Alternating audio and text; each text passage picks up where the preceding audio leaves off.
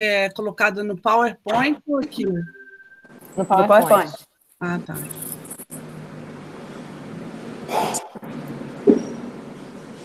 Perfeito. Maravilha. Direitinho. Agora saiu. Mas saiu direitinho. Eu vou testar aqui. É porque aí eu não vejo ninguém nem nada. É, esse é o, o único jeito foi aquele que o André ensinou, mas eu também não consegui colocar em prática ainda.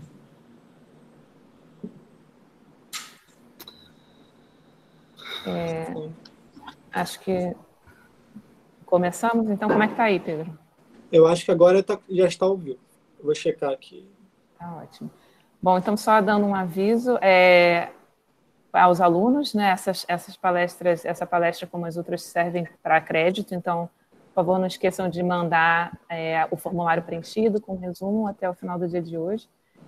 E nós temos um grande prazer de dar continuidade ao nosso ciclo de palestras em comemoração aos 75 anos do Instituto de Biofísica Carlos Chagas Filho, sendo hoje a última palestra do grupo do ciclo coordenado pelo Programa de Neurobiologia.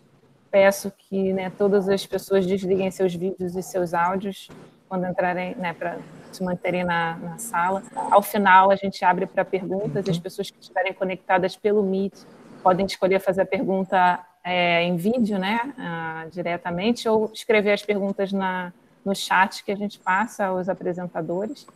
É, hoje vai ser uma, uma mesa de discussão e eu passo a palavra então para a professora Cecília Reiding, que vai é, moderar essa, essa mesa. Obrigada novamente ao programa de Neurobiologia e à professora Cecília por dar, nos dar essa oportunidade de discutir, de celebrar o professor João Franca. Obrigada. Obrigada a todos. Então, foi com enorme honra né, e, é, um prazer enorme né, essa ideia de fazer uma celebração ao professor João Franca, que é, eu acho assim, um dos neurocientistas mais excepcionais que a gente já teve, e assim muito emblemático, o, o João extremamente emblemático do percurso é, que o programa de neurobiologia teve né, a, até aqui, é, desde é, um mapeamento, por exemplo, dos, do, a feitura do Atlas Anatômico do Gambá, com um viés evolutivo, né, sempre com um viés evolutivo presente e e como que o, a, a, carreira do João Franco ela é muito é, ela espelha muito é, é, essa evolução também esse, o desenvolvimento é, da neurobiologia dentro do programa de neurobiologia. É, começando com é, um mestrado com o grupo do Cristóvão Picanso Diniz né, é, Universidade Federal do Pará, que foi aluno do Instituto de Biofísica e um dos primeiros alunos do Departamento de Neurobiologia, que tem um dos primeiros departamentos, acredito que seja o primeiro uh, departamento uh, nessa, em, em, neuro, neurociências, em neurobiologia do Brasil, que foi criado nos anos 70. É, então, ele, o, esse, o, grupo do Pará, que o doutor o professor Luiz Carlos Silveira, é, professor Cristóvão Picanso Diniz, foram também extremamente é, importantes para o papel da, do, do, Instituto de Biofísica em é, nuclear grupos, né, Brasil afora, e principalmente um grupo tão forte, é, ou grupos tão fortes que se estabeleceram no Pará, é, com vários outros é, professores, hoje em dia cientistas em ação no Pará e que, é, e que foram formados no, no, no Instituto. É, então, o professor João Franca, ele, ele fez mestrado com Cristóvão Picanso Diniz pelo Instituto de Biofísica, mas ele passou vários anos no Pará, e lá ele conheceu a Ana Cláudia, né? Eu acho, acredito que a Ana Cláudia, a mulher dele, tenha sido, é, quer dizer, eles se casaram, é, e ele ficou mais paraense né, ainda, embora ele seja carioca, fosse carioca. E é, depois disso, ele fez doutorado com a professora Eliane Volchan. Né? Todos os dois, todos os dois um, trabalhos, né, os, os, trabalhos que ele fez com Cristóvão, né, que tinha um, um, esse viés evolutivo, ele trabalhou com macacos já, com, com, primatas nessa época, e depois com Eliane, né, é, é, no mapeamento de neurônios de afrase positivos, né, neurônios produtores de óxido nítrico, né, é, no sistema nervoso central. Mas ele, uh, o viés evolutivo foi sempre muito importante e ele foi fazer o pós-doutorado dele com John Cass na Vanderbilt nos Estados Unidos. É, então essa influência da evolução do sistema nervoso ficou ainda mais é, presente. E em seguida ele foi trabalhar é, na, em, na Universidade de Califórnia Davis com a, a doutora Leah Krubitzer, que eu acho que aí realmente estabeleceu essa linha de pesquisa muito forte, uma colaboração muito forte entre eles, é, em que, é, que, em que é, se, eles estudaram circuitos é, neurais que estariam subjacentes ao uso de ferramentas em é, primatas, em, em especial é, o, o nosso macaco prego. É, e para isso, eu acho que é, não tem ninguém melhor do que é, o Andrei Maier para falar sobre isso, né? professor da, da UFSC, agora da Universidade Federal de Santa Catarina, é um aluno do João Franca, mestrado, doutorado, né? e uh, orienta também vários alunos do João atualmente. É, então, acho que vai ser excelente a gente é, poder escutar é, os últimos é, trabalhos que o João Franca fez é, dentro do seu laboratório. É claro que, é, como o João se mudou para trabalhar com primatas, né, ele tinha uma preocupação muito grande que o Instituto de Biofísica entendesse a importância né, de se estudar cognição e evolução em primatas, e como que isso era impossível estudar em outras espécies, ele tinha muito essa preocupação. E eu, nessa época, quando eu era presidente da SBNEC, eu também compartilhava, continuo compartilhando dessa, é, dessa preocupação né, de, é, de fazer entender às pessoas esse modelo é, e, ao mesmo tempo, é, trazer junto os pesquisadores é, de todo mundo que trabalham com primatas e é, nesse esforço né, é, de, de fazer isso, a gente organizou um, um, um congresso é, em é, evolução, é, cognição, evolução e comportamento de primatas, que foi um satélite da SBNEC em é, Ouro Preto, e que reuniu as maiores autoridades do assunto no mundo, e foi é um momento, eu e o João organizamos conjuntamente é, esse evento. Também foi é, uma homenagem ao é, Ricardo Gataz, nessa época, que ganhou a medalha Neurociências também. A gente fez um filme muito bonito nessa, nesse evento, acho que vale a pena as pessoas é, é, é, verem esse filme. Né? Várias das pessoas que eu vi que estão assistindo aqui, né? Marcelo Rosa, que está na Austrália, várias pessoas estão aqui nesse assistindo essa homenagem hoje. Então, é, eu acho que, é, além disso tudo, eu também compartilhei com o João é, o, é, um curso de graduação em psicologia em que a gente fez coisas incríveis e inventamos um, um método de tutoramento de grupos dentro do, da psicologia que eu acho que seria bem interessante se aplicar agora nessa época da pandemia em que a gente realmente tem é, esse acesso remoto, de repente fazer grupos pequenos é, de interação foi é, excelente. Mas é, o João é uma pessoa humana incrível, extremamente sensível, inteligentíssimo, é uma pessoa agradabilíssima de se trabalhar e sempre com o riso pronto. É, a gente ria também bastante. E é, então, dentro dessa linha de da gente desenvolver o trabalho em primatas, né? tentar desenvolver e aumentar essa massa crítica de trabalho em primatas no Brasil, envolvendo a Fiocruz também, é, a gente começou a trabalhar também com uh, o professor Francisco Clascar, da Universidade Autônoma de Madrid, na Espanha, uh, que eu havia conhecido é, no, no MIT quando eu estava fazendo doutorado lá. Ele estava fazendo pós-doutorado nessa mesma época, e hoje em dia é uma pessoa que montou é, é, um grupo de pesquisa em Natal também, trabalhando é, em primatas, e que tem vindo, é, nos últimos anos, anualmente dar um curso, junto com o João Franca, né, é, sobre é, conexões tálamo-corticais. Então, sobre tálamo, enfim.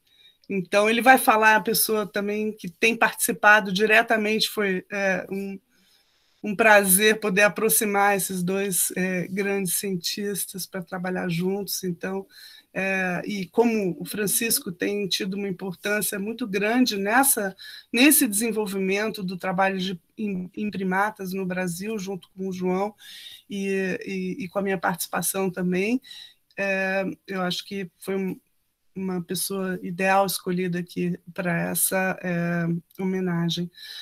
É, a gente também não pode deixar de falar, claro, sobre o grupo com, no Instituto de Biofísica com quem o João tem interagido esse tempo todo, né? Ricardo Gataz, Juliana Soares, Mário Fiorani, é, Bruce Lima, mais recentemente, que também participa na orientação dos alunos dele.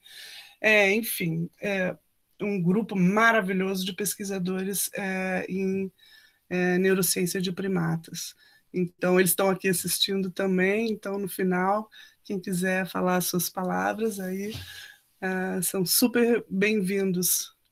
Então, é, eu queria agradecer aos palestrantes e chamar primeiro, então, o professor Andrei Maier de Oliveira, da Universidade Federal de Santa Catarina, para nos contar um pouco dessa história de pesquisa dele é, como aluno do João Franca.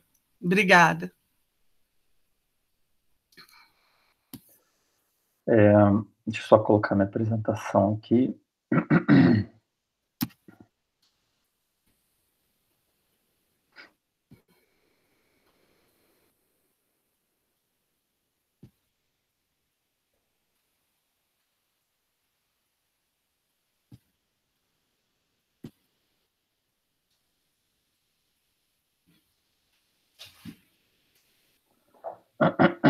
Então, vocês estão vendo a apresentação? Aham. Uhum. Ok, tudo certo? Estão me ouvindo bem, né? Estou ouvindo. Perfeitamente. Então, é, bom dia, boa tarde, né? Como a Cecília é, já me apresentou, mas acho que não custa me apresentar de novo. Para quem não me conhece ainda, meu nome é Andrei Maier e atualmente eu sou professor lá da Federal de Santa Catarina.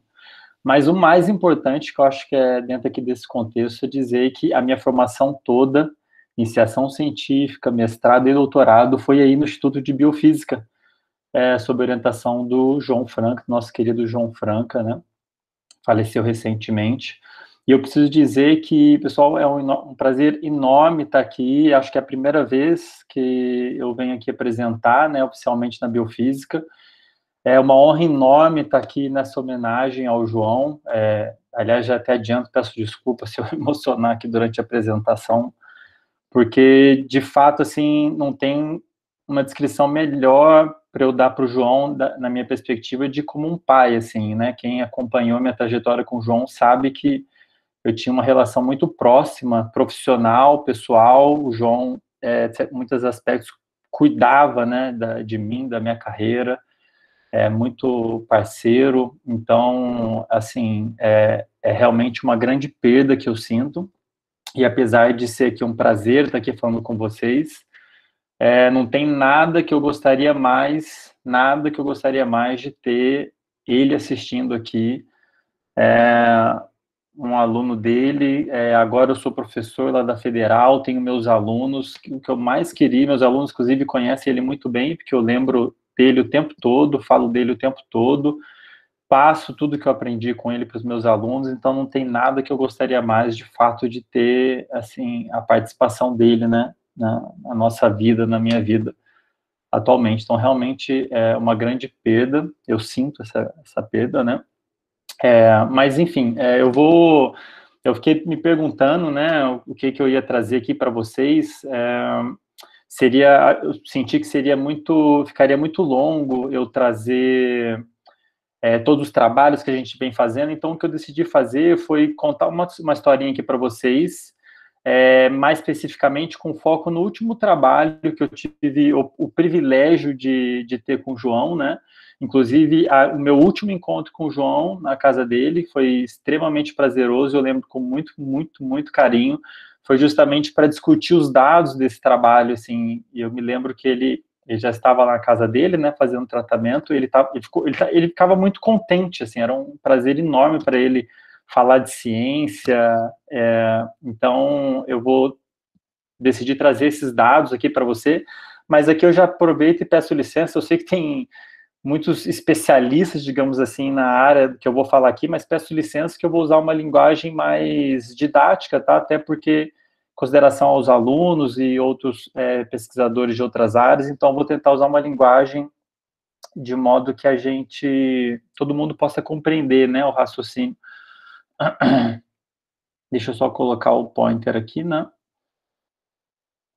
E vou aproveitar para fazer essa, essa apresentação com, num, dentro de um contexto, contando uma historinha, né? Então, eu comecei a fazer, entrei lá para trabalhar no, no, grupo do João, na época o Ruben, que eu acho que está assistindo aqui, estava no laboratório, a Anaeli, a professora Anaeli, o professor Ruben, que são professores de Juiz Fora, estavam no laboratório. Eu entrei em 2009 para fazer iniciação científica. E, claro, muito imaturo, né? E eu me lembro quando entrei no laboratório, eu já estava fascinado com os paradigmas que o laboratório estava usando, é, análise de circuitos, anatomia, fisiologia. Mas agora, olhando para trás, eu vejo que eu, na realidade, não entendia bem o que o laboratório estava estudando, porque quando eu entrei lá, é, eu tinha entendido que a proposta era essa. Então, né, que o professor Rubem até me lembro de, de conversar comigo sobre isso ele me contando que o laboratório tinha um objetivo geral de estudar comportamentos manuais, né? E assim, eu me lembro muito bem da, da dúvida que eu fiquei, uma dúvida que muitos de vocês talvez tenham, que alguns de vocês não tenham contato com esse tema, era, eu me perguntei, o que, que seria estudar comportamento manual, né? Por que, que alguém queria estudar comportamento manual? por que, que, era tão relevante estudar movimento de mão ou coisa do gênero. E só ao longo dos anos ali na minha formação no laboratório que eu fui compreendendo mais a fundo.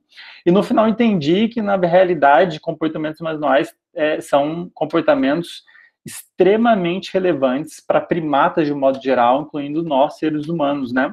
Então, se a gente parar para pensar, pessoal, convido todos, né, a, que não pensaram nisso, refletir agora, quase todos os comportamentos que a gente executa ao longo do dia, eles envolvem a gente usar as mãos e alguma ferramenta, muitas vezes, né? Então, quando a gente vai abrir uma porta, pegar um dinheiro numa carteira, a gente faz isso sem olhar a carteira de uma forma muito hábil, né?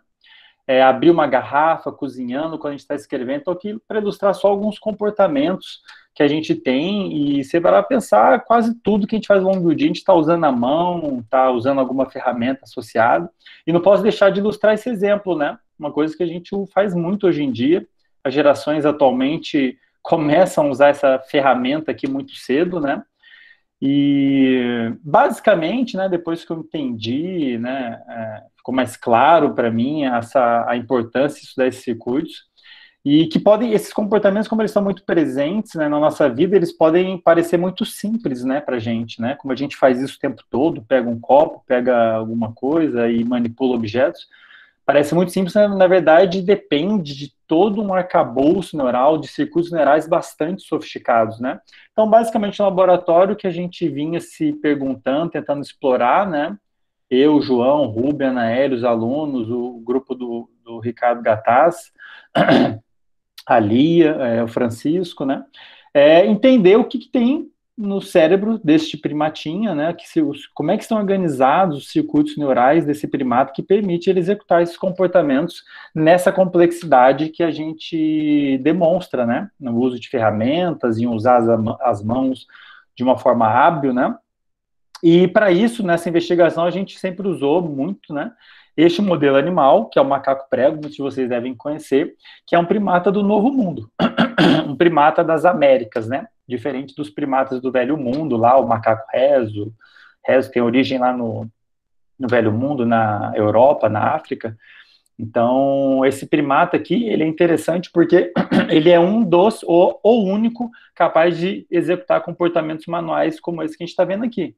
Usar ferramenta, confeccionar ferramenta, selecionar a melhor ferramenta para usar numa uma tarefa específica. É, além disso, ele é capaz de executar muitos movimentos manuais hábeis, né? Então, esse trabalho aqui, por exemplo, mostrou que ele é capaz de executar 16 tipos de movimentos de pinça, né, de oposição dos dedos, incluindo especialmente aqui o polegar com os outros dedos. Então, é um modelo animal muito interessante para se estudar, né, também, é, esses comportamentos manuais que a gente queria compreender, né, o substrato neural. E, como eu disse, né, como são comportamentos que estão muito presentes no nosso cotidiano, facilmente as pessoas, comumente as pessoas acham que são comportamentos fáceis de serem implementados do ponto de vista neurofisiológico, mas na realidade não são. Para a gente conseguir executar movimentos, a gente, esses macacos conseguirem executar esses comportamentos, a gente depende de circuitos, como eu disse, bastante sofisticados, e aqui eu vou ilustrar, e eu peço licença aqui para os neurofisiologistas, neuroanatomistas, que eu vou ilustrar um esquema bastante simplificado. Então, aqui só para ilustrar, né, estamos vendo aqui o, o, uma vista lateral de um hemisfério esquerdo de um macaco, macaco prego, né? Então, aqui é o suco central, tá? E aqui eu estou ilustrando as grandes regiões do córtex, tá? Não são só essas regiões, mas são regiões especialmente envolvidas em controlar movimentos do corpo, incluindo comportamentos manuais, né? E aqui, então, a gente tem o suco central, para o lado de cá a gente tem áreas envolvidas no processamento sensorial, na integração multissensorial, né, de informações do corpo e visuais para gerar uma percepção. E aqui à frente a gente tem áreas motoras, eu não vou entrar em detalhes, anatomia, na organização anatômica funcional agora, mas seriam áreas que estão mais relacionadas à execução do movimento, né? Desses comportamentos, do componente motor desses comportamentos. Especialmente aqui a área M1, onde a gente tem lá muitas células que se projetam para neurônios que estão lá na medula, certo? É, e peço licença também para o Francisco, porque aqui eu não estou incluindo uma estrutura fundamental para esses circuitos, que é o tálamo, né? Que tá, é uma estrutura que está lá dentro do encéfalo. E é fundamental, se comunica com várias, como o Francisco vai falar aí mais, logo mais, se comunica com várias áreas corticais, é fundamental para todo o processamento que acontece aqui a nível cortical, para a gente ter esses comportamentos todos acontecendo, né? Dos mais simples aos mais complexos. Mas nesse contexto aqui, isso quer dizer que se eu dou um estímulo elétrico aqui, né, na área motora, especialmente na área motora primária, eu vou acabar ativando lá neurônios motores na medula, que por sua vez vão ativar músculos do corpo e vão gerar um movimento. E de fato, esse é um paradigma que a gente pode usar para explorar esses circuitos, a organização funcional desses circuitos, fazendo estímulos, né? E avaliando as respostas que a gente observa, né? É, e o paradigma clássico usado, vem sendo usado nas últimas, vinha sendo usado muito, né, na, nas últimas décadas, é a gente dar um estímulo bem pequenininho aqui, é, fraquinho, que a gente não quer que a corrente se espalhe muito, e curto, 50 milissegundos, bem curtinho. E esse tipo de estímulo leva, leva né, é, a movimentos de conjuntos musculares específicos. Desse modo, eu posso mapear aqui, de certa maneira, é, músculos, né, conjuntos musculares ao longo de, por toda a extensão aqui do córtex motor. Mais recentemente, né, quer dizer, não tão recentemente, lá para volta de 2012, houve uma grande mudança no paradigma de, de como se explorar o córtex motor e começou-se a usar um outro paradigma de dar um estímulo mais longo, mais próximo da duração de um movimento, de um comportamento, digamos assim. E usando esse novo paradigma, ao invés de a gente observar contração de músculos é, isolados, um pequenos é, contrações ali, sei lá, de um, de um pequeno conjunto de músculos da mão, os pesquisadores lá, o Graziano mais especificamente, observou que você observa nesse paradigma a execução de movimentos muito mais complexos, né? Movimentos coordenados que muitas vezes é, lembravam um comportamento, um comportamento que a gente poderia identificar ali naquele momento, né? Eu vou ilustrar alguns vídeos, isso vai ficar mais claro mais para frente. Então, o que a gente decidiu fazer foi explorar é, o córtex motor do macaco prego, né, o modelo que a gente estava usando, dessa maneira, no sentido de procurar é, ver se todo aquele repertório comportamental que ele, que ele mostra, né, do ponto de vista manual, né, repertório comportamental manual de juiciamento, se de alguma maneira isso não estaria sido representado aqui no córtex motor do macaco prego, né? Então, já que ele tem todo esse repertório é, espe especial, digamos assim, né? Ele usa ferramentas e faz movimentos de pinça e tem um movimento Será que o córtex motor dele é, reflete esses comportamentos de alguma maneira? Ou será que a gente vai encontrar uma organização semelhante a qualquer outro primata, né? Então, o que a gente fez foi, né, num procedimento cirúrgico, expor, então, o que a gente está vendo aqui é um encéfalo de um dos animais, do hemisfério esquerdo, aqui está o suco central, e aqui um maior aumento dessa janelinha aqui, tá? Então, num procedimento cirúrgico, a gente expôs a superfície cortical, e aqui está a fronteira anterior da área motora primária. Aqui está o suco central, e a área motora primária, o córtex motor, estaria aqui, né? E o que a gente fez, então, foi fazer estímulos na, na, aqui ao longo de toda a extensão do córtex motor, mas usando esse novo paradigma de 500 milissegundos.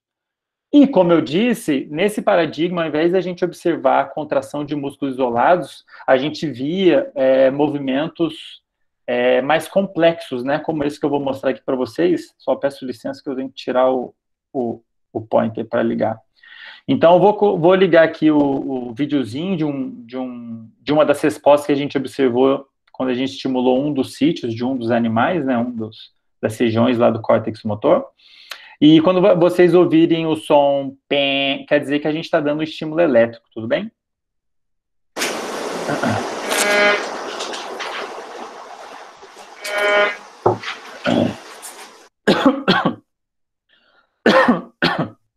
Então, reparem. Opa, só um minutinho. Vou botar o pointer de novo aqui. Então, reparem que quando a gente dá esse estímulo mais é, longo, né, de 500 milissegundos, ao invés do animal executar uma um, contração de um conjunto pequeno de músculo, eles executam um, um movimento muito mais complexo envolvendo várias partes do corpo. Nesse caso, o movimento na literatura parece muito com o que a literatura descreve como hand to mouth, que é levar a mão até a boca, né? Mas não vou entrar em detalhes em relação a isso, para não me alongar muito. No final das contas, a gente gerou é, figuras como essa. Aqui a gente tem o encéfalo de um dos casos que a gente estudou. Aqui a janelinha que a gente está olhando em maior aumento aqui. Aqui está o suco central.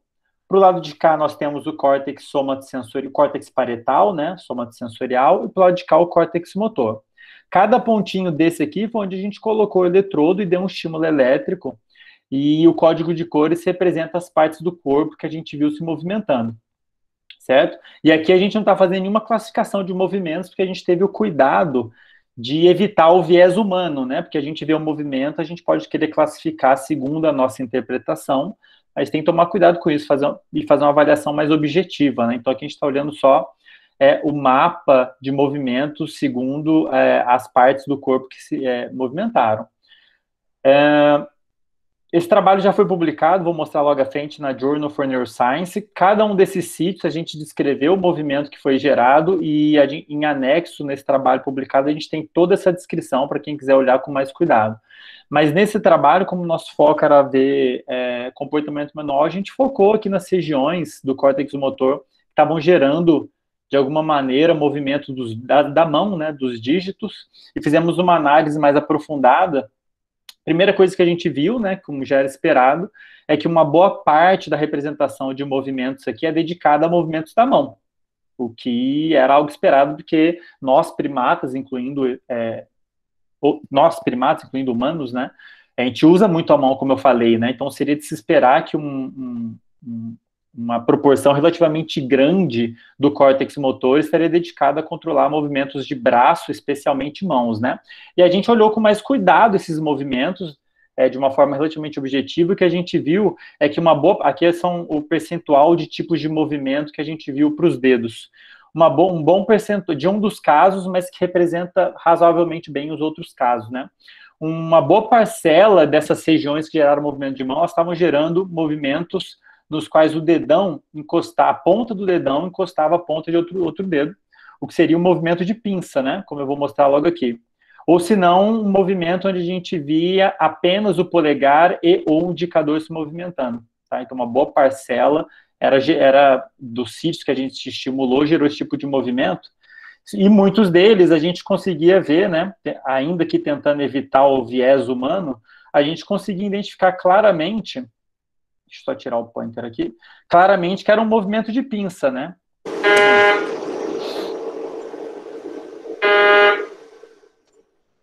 Certo? É, em uma segunda grande parcela eram outros movimentos de flexão dos dedos, uma relativamente pequena parcela eram movimentos de todos os dedos ao mesmo tempo, é, fazendo com que a mão fechasse numa pegada que a gente chama de pegada grosseira, né? Que é quando todos os dedos se fecham ao mesmo tempo e é basicamente o tipo de pegada que a gente vê em primatas que não demonstram ter, não demonstram é, habilidade nos comportamentos manuais ali no, ao longo da vida deles, né? Então, isso aqui é o tipo de pegada que a gente chama de pegada grosseira, que era uma, a gente viu numa parcela menor, né, dos sítios que a gente estimulou, que seria mais ou menos assim.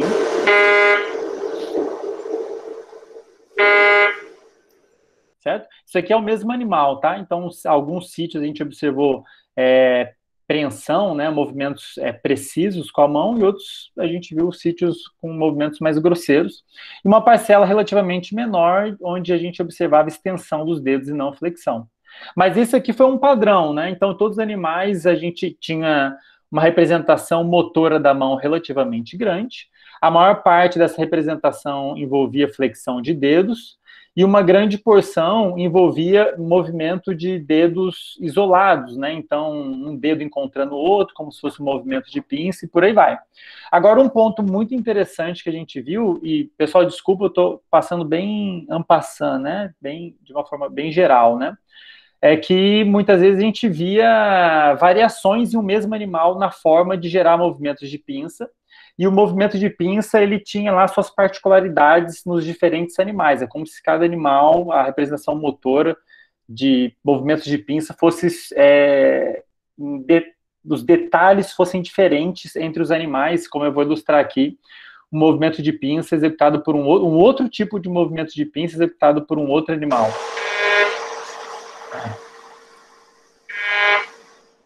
Então aqui a gente vê o polegar né, indo de encontro com a ponta de todos os dedos. E aqui só para ilustrar um outro exemplo, é, foi bem interessante porque a gente viu como se a gente estivesse vendo ali diferentes tipos de movimentos de pinça representados no córtex motor do, desses animais, né?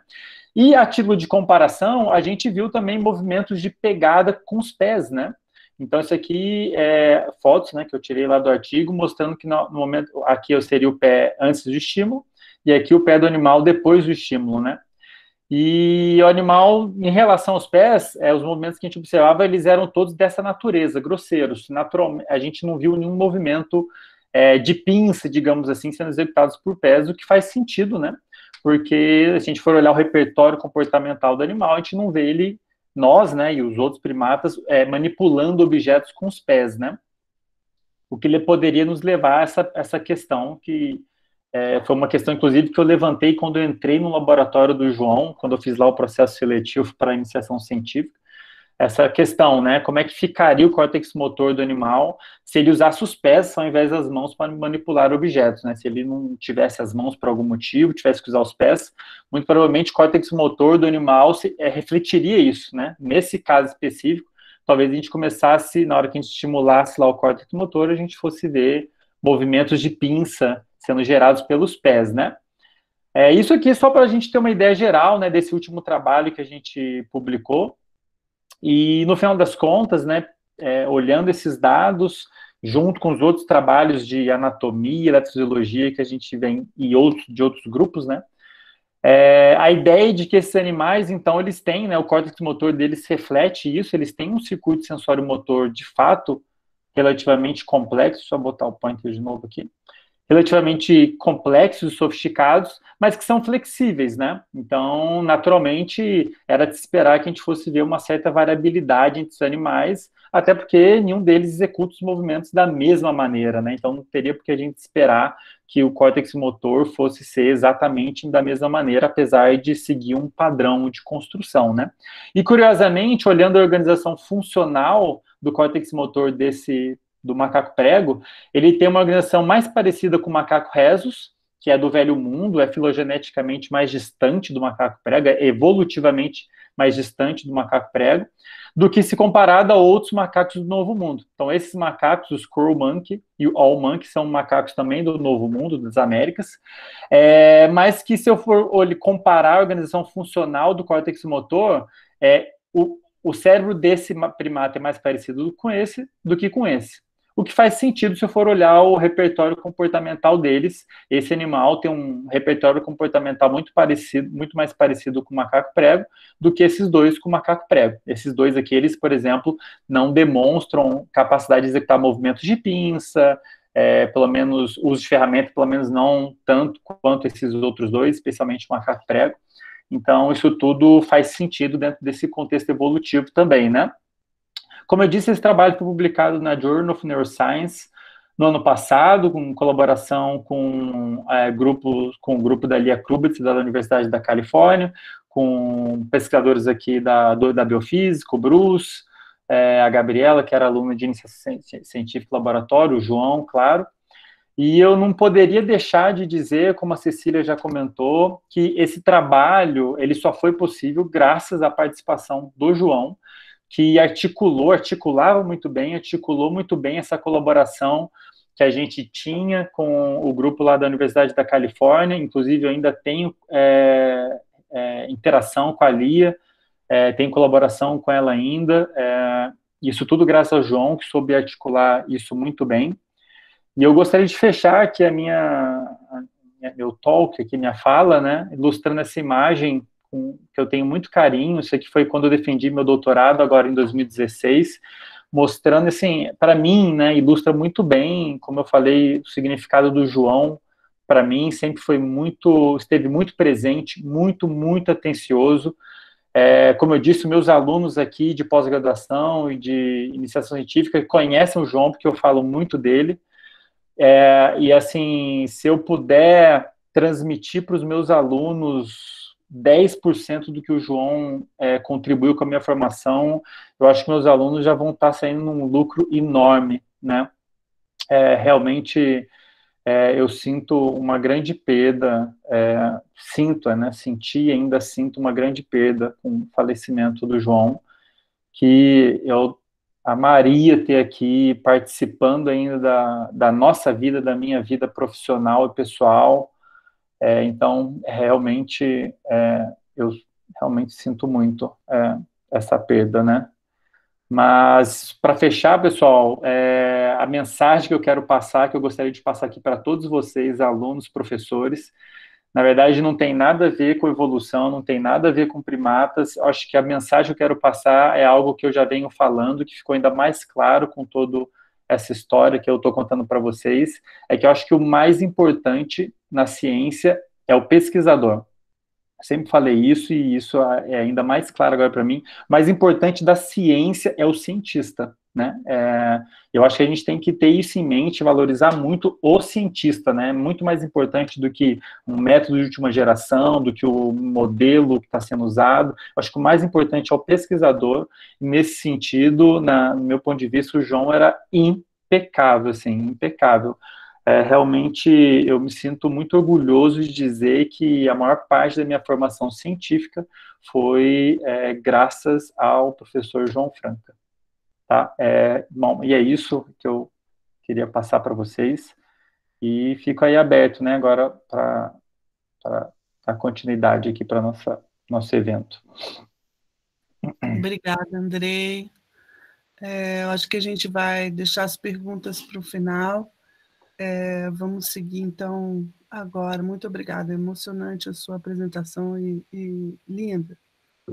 É, então, vamos agora com é, o professor Francisco Clascar, da Universidade Autônoma de Madrid, um grande colaborador do João Franca também, participa de projetos internacionais, é, é, como o Brain Project, Human Brain Project, e, e que tem contribuído bastante para é, o, o, entendimento da importância também dos estudos em primatas. Então, queria chamá-lo, por favor, Francisco. Estou aqui, não sei o que tenho que fazer agora para... Acho que Andrei está ainda compartilhando a tela.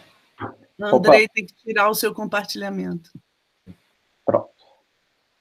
Ok, então vamos ver se está certo.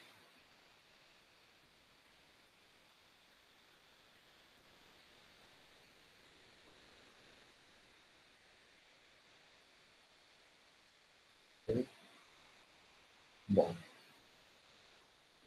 Dá para ver a minha tela bem? Vocês estão vindo?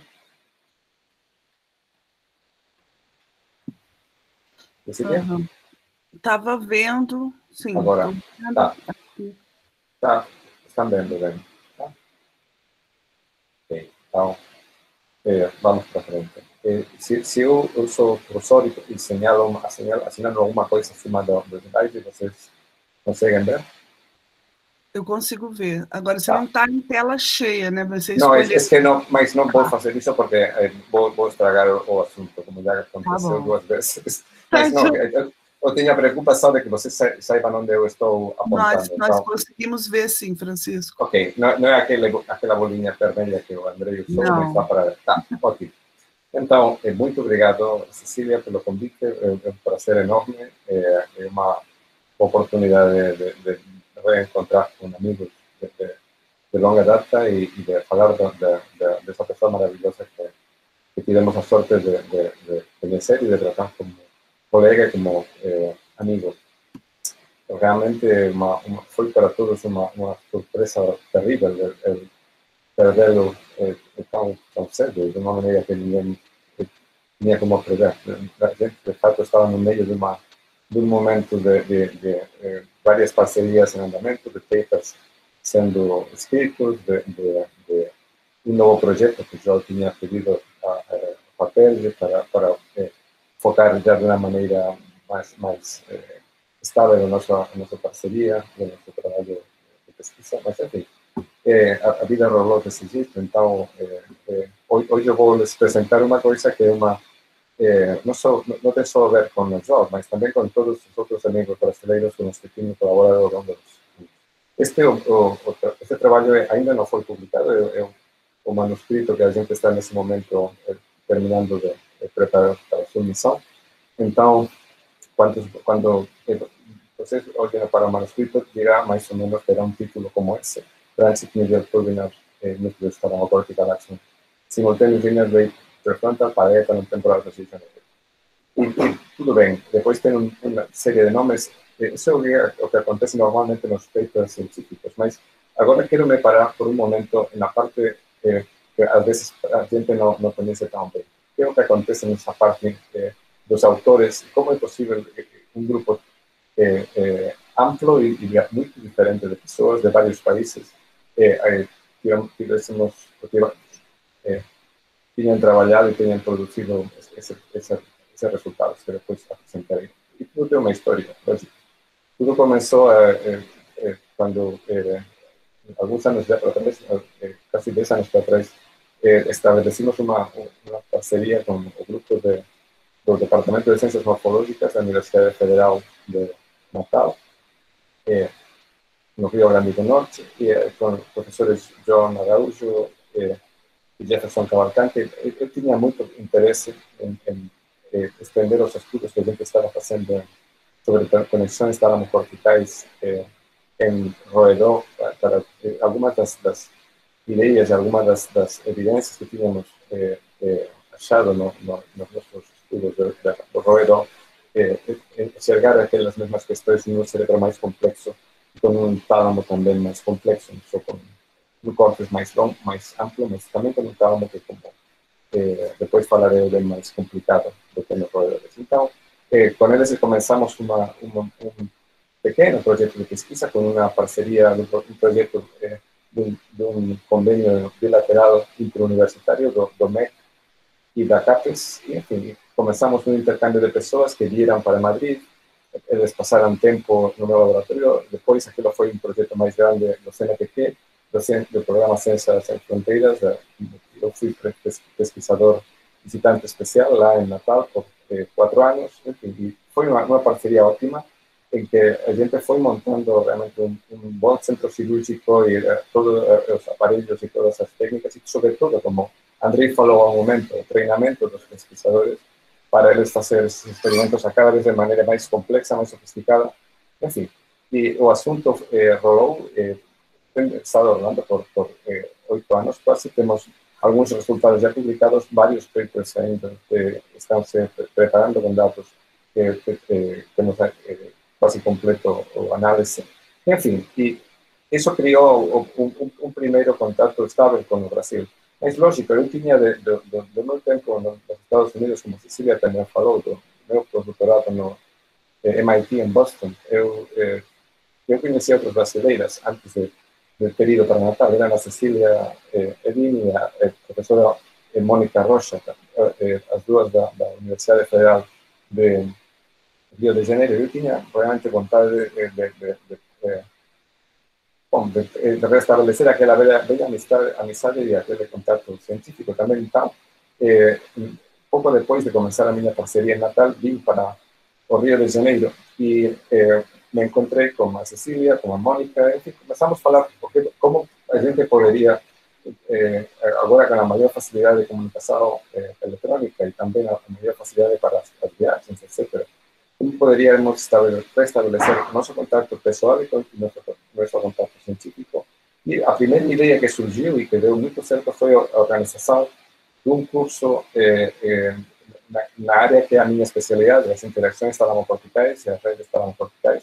E aquilo, como a Cecília eh, falou a, a, na sua apresentação, foi uma iniciativa que deu muito certo. Tivemos quatro edições desse curso eh, na, na, no programa de pós-graduação do Instituto de Biofísica.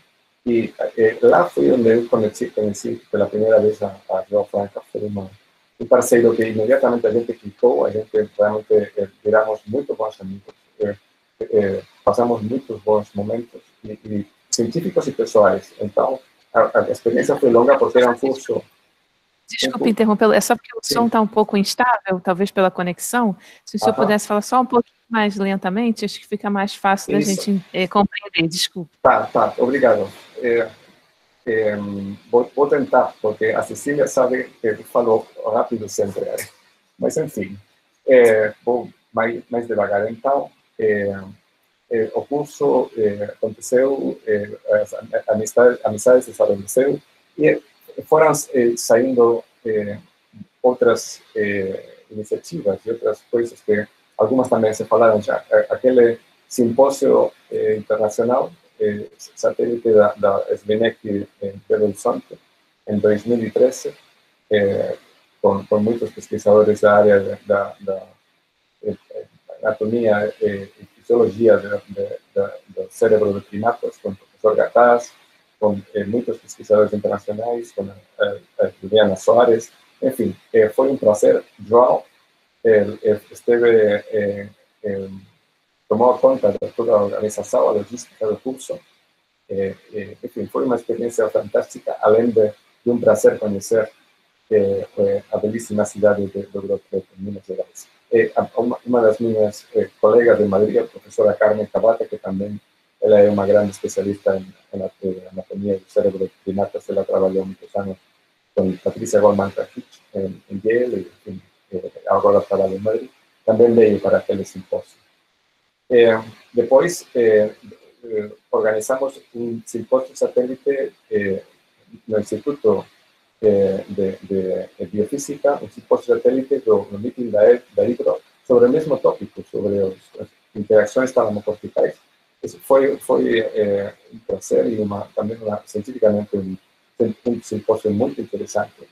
É, Arsadi, Murray Sherman, John Hugenor, é, Lia Krubitzer e, e, enfim, também o professor Gataz e, o, e o mesmo João Franca também participou no, no, no simpósio. Esse foi, esse simpósio e outra, algumas outras reuniões prévias deram lugar a, a tomamos a decisão lá, as pessoas que, que participamos no simpósio de organizar, organizar de lá para frente uma Gordon Conference, com o mesmo eh, título, eh, Interações Talamocorticais, uma, uma eh, Gordon Conference muito bem sucedida, que já teve, teve três edições, a última no passado mês de fevereiro. E, eh, a gente estava lembrando lá em Califórnia, na World Conference, desse simpósio aqui na, na, na, na FRJ.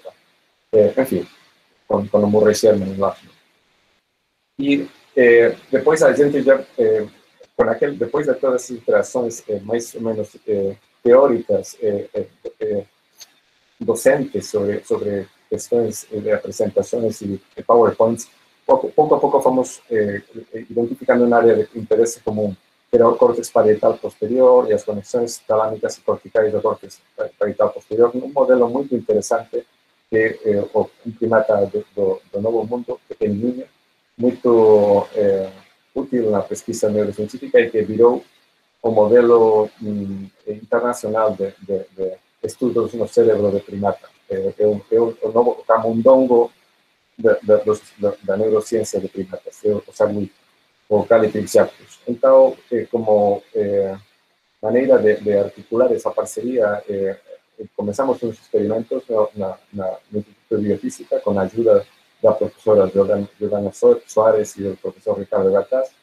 Uma aluna do meu laboratório, Angélica Córdoba, veio para cá, para Rio, passou eh, meses no laboratório do professor João Franca.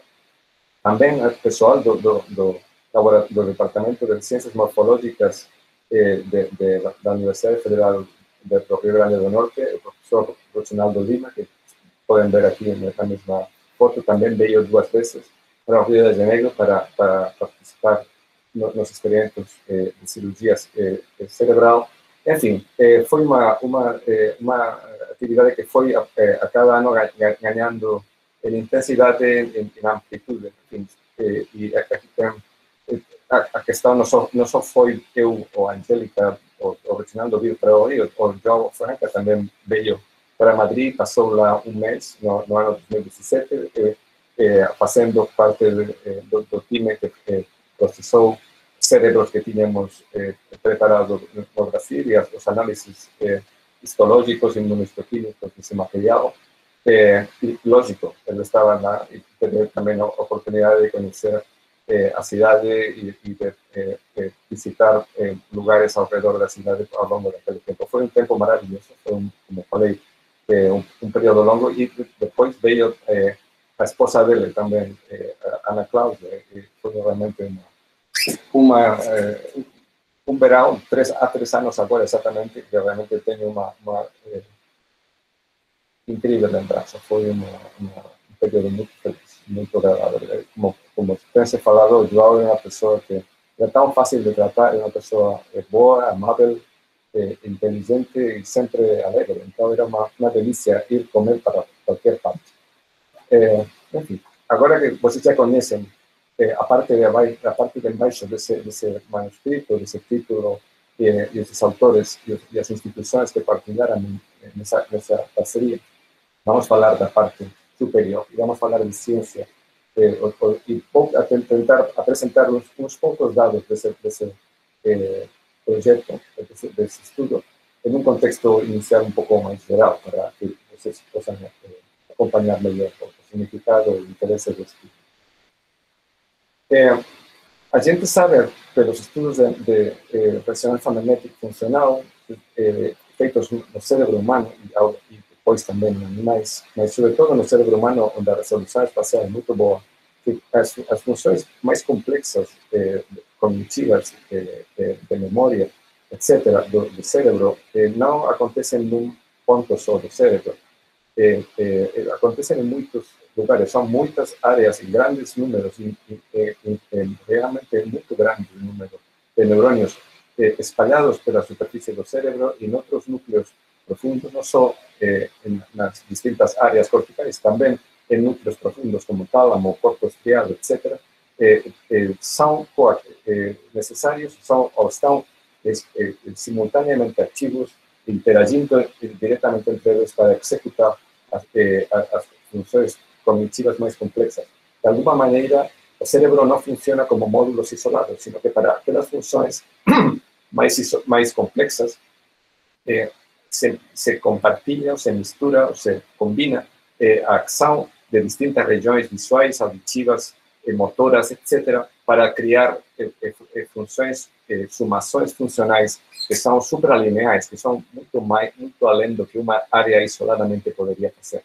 Eh, mas há uma pergunta, pergunta óbvia, como, como essas áreas estão longe umas das outras e que eh, estão cada uma no topo de uma, de uma série de, de, de módulos em, locais de análise de sinais que chegam pela, pela vista, pelo ouvido, de como elas conseguem eh, se combinar e, sobretudo, como conseguem se recombinar de muitas maneiras diferentes, de uma maneira flexível, de segundo em segundo, mudando a cada tempo. Eh, por exemplo, é diferente quando você está atendendo, prestando atenção a uma coisa que tem que acontecer no, no campo visual, quando só está enxergando, quando está buscando alguma coisa que tem mais eh, eh, uma sinal mais relevante no meio de um barulho, eh, quando é uma questão de eh, eh, controle motor, ou, por exemplo, quando não está fazendo nada, simplesmente está pensando e lembrando coisas, ou quando está tentando manter na memória um número eh, de telefone. Tem vários pontos do corpo, vários pontos do tálamo e do estriato que estão eh, coativos, estão falando entre eles e mantendo-se simultaneamente por acima de um nível de atividade eh, eh, de uma maneira diferente do resto do, do córtex. Okay? Então, como isso é possível? Qual é o substrato anatômico disso? Bom, eh, para pensar mais sobre isso, também sabemos outra coisa, é que isso não acontece subitamente. Não, não é que toda a rede eh, a, a virar ativa subitamente, tudo nada. Não. Há uma progressão, eh, dependendo do nível de atenção e o nível de a intensidade do estímulo, a, a, ativação da rede que envolve muitas áreas eh, longínquas umas das outras no córtex, eh, eh, pode ficar somente na área inicial, se a sinal tem pouca intensidade ou, ou não, se, não está se prestando atenção. Se tem mais intensidade ou se está mais atento, chega um momento em que uma grande quantidade de áreas nos dois lados do surco central do cérebro conseguem se ativar simultaneamente. E, nesse momento, que os, as, as eh, percepções mais complexas acontecem. O fenômeno de consciência, a capacidade de reportar que alguma coisa foi percebida e também eh, a, a, capacidade de análise mais, mais complexa. Esse, esse tipo de, de, de, de construção temporal da rede funcional tem, tem sido eh, analisado. Francisco, é, desculpe, por Sim. alguma razão a, a, sua apresentação é, sa, saiu. Será que você podia tentar voltar? Volto. Saiu. Tá. É... Eu acho que você tem que clicar de, na imagem de novo da sua tela. Ok, então, agora, agora estou outra vez fora. Eu vou, vou voltar a compartilhar.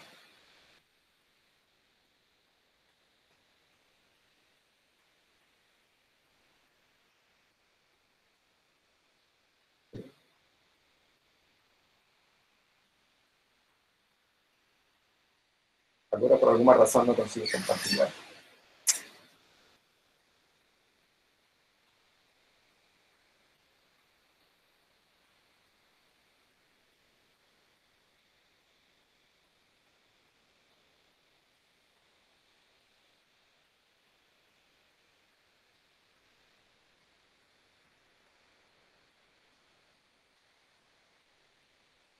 Vamos ver.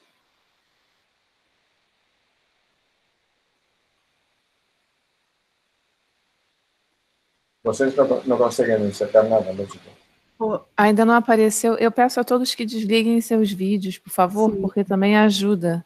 Tereza. É, por favor, Tereza não tem. Desliga seu vídeo, Tereza. Esse não me oferece a opção de compartilhar. Me, me mostra. A, é embaixo, Francisco. Não, não, sei, sei, mas, mas é, é, não, não, não, sei, não vira de corzinho azul o, o, botão de compartilhar. Talvez Também. nesse caso seja melhor sair e voltar para ver se. Ok, vou, vou, vou fazer, tá? Me desculpem. Me desculpem, por favor. Ok. Nesse meio tempo, eu peço que todos olhem, passem seu mouse pela parte inferior da tela, vai, vão aparecer três botões. É, por favor, deixem em vermelho o botão que tem um microfone e o botão que tem uma telinha do lado direito. porque aí a gente consegue desligar tanto o áudio quanto o vídeo, e isso facilita a apresentação.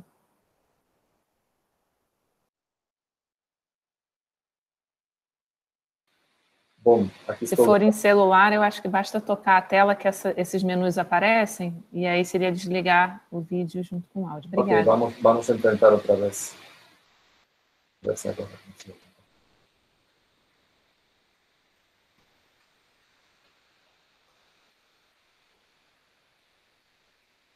Se não, vou sair do PowerPoint. Essa pode ser outra estratégia. Sair de PowerPoint e voltar a entrar. Grava a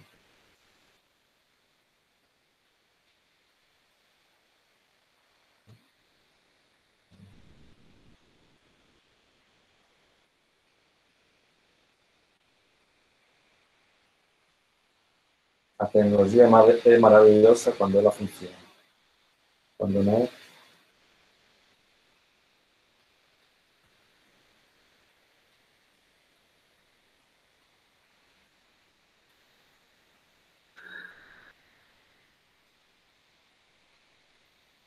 Você sair, a sugestão é que Francisco saísse completamente, voltasse a entrar na sala? Sim, sim, já, já fiz isso, sabe? Ah. Então, Aí agora passou o mouse embaixo, fez o apresentar. Agora sim, fechei o PowerPoint, aí voltei a abrir. Vamos ver agora.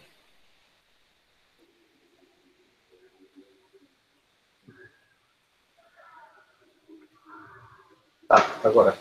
Acho que ah, agora estou vendo. Ok? Voltam a, voltam a enxergar a tela? Sim. Agora okay. estamos vendo todos os slides, mas Ótimo, está procurando, né? Onde você estava. Sim, estava, estava. Ok. Tá. É, a questão, então, é, é como passar do, do, do nível pré-consciente ao subliminal.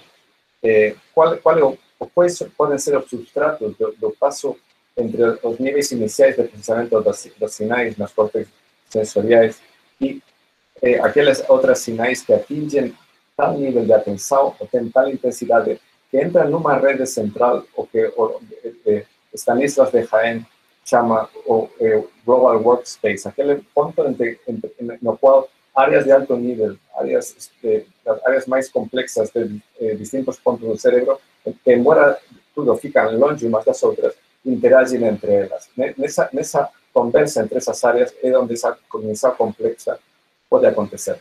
Então, qual é, qual é substratos podem ter esse eh, ponto de entrada? A gente ficou interessada no, na possibilidade de que o tálamo esteja envolvido nisso.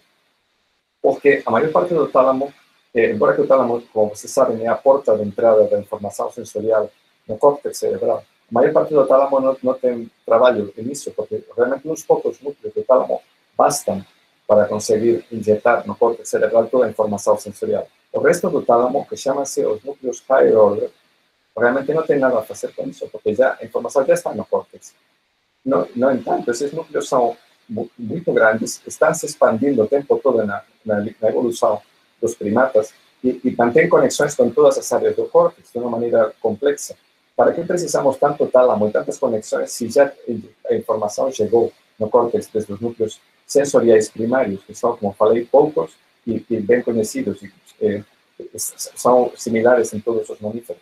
Qual, qual é a função e qual, eh, qual, a ideia é que essas conexões entre os núcleos higher order e as múltiplas áreas eh, corticais, incluindo as áreas eh, mais complexas da cognição, poderiam eh, ter a ver com, com essa capacidade de, de fazer que múltiplos pontos do córtex cerebral trabalhem juntos numa tarefa cognitiva complexa. Algumas evidências apontam que as coisas são assim, pelo menos entre áreas que não ficam muito longe no córtex temporal, tem se mostrado que a atividade pulmonar lateral desses núcleos high order, eh, núcleo pulmonar, a parte lateral dele, eh, eh, sincroniza a atividade entre áreas que estão também conectadas corticocorticalmente, mas que só quando a atividade do núcleo pulmonar, dos neurônios do núcleo pulmonar, precede a atividade do, do, do, das áreas do córtex visual, se estabelece uma eh, boa sincronização funcional entre as duas áreas, por exemplo, essas são áreas que estão envolvidas no processamento da, do reconhecimento visual de objetos.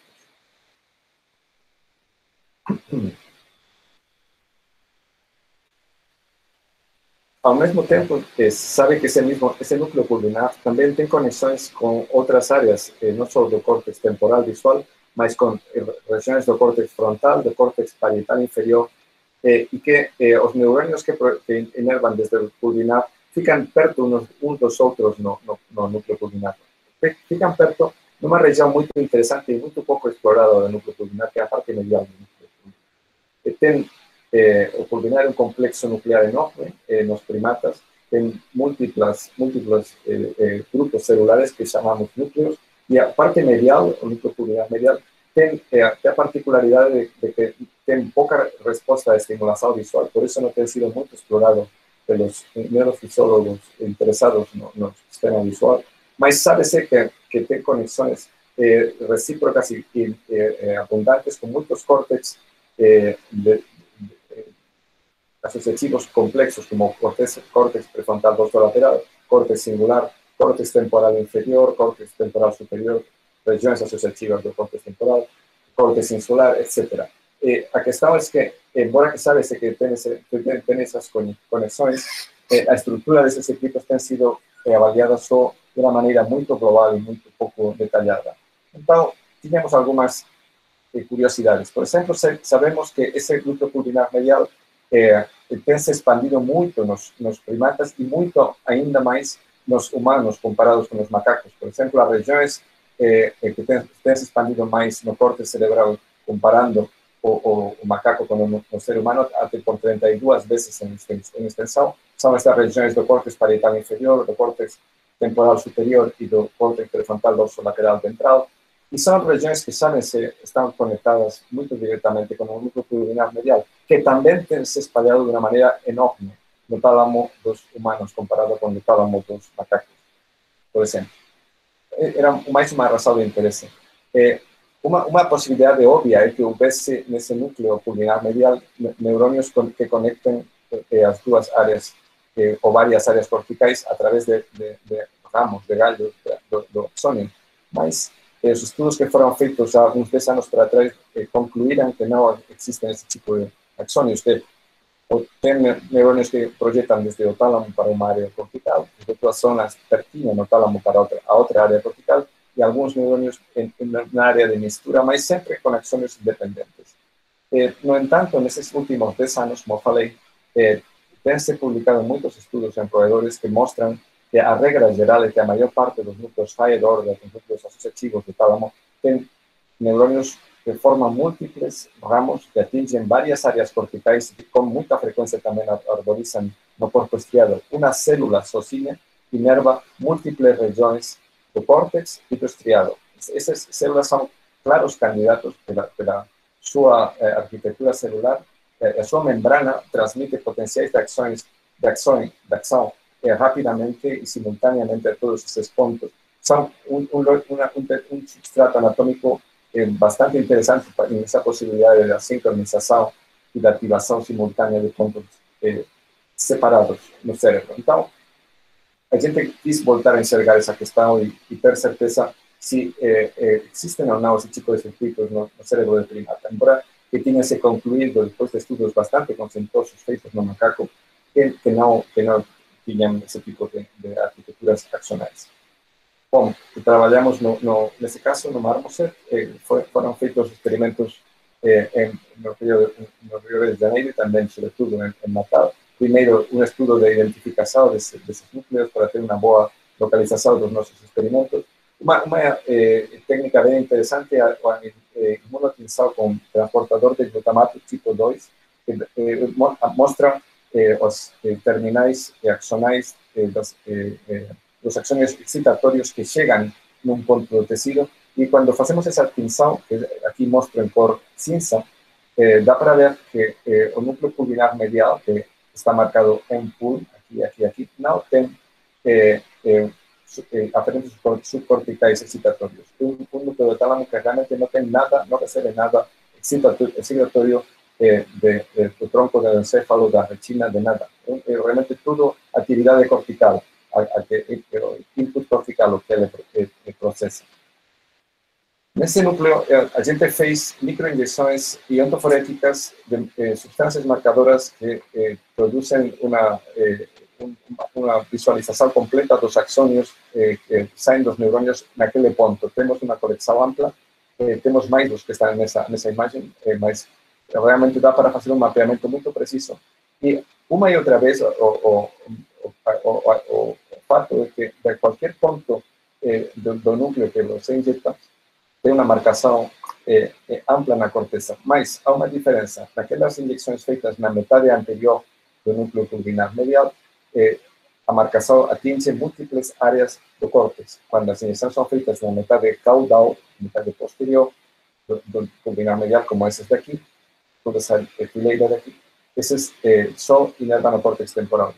Temos também algumas injeções que caíram fora do núcleo pulvinar medial, bem perto dele, na parte mais medial do núcleo pulvinar lateral é uma boa, boa maneira de ver a, a, separação entre esses dois núcleos, que não tem uma boa divisão histológica.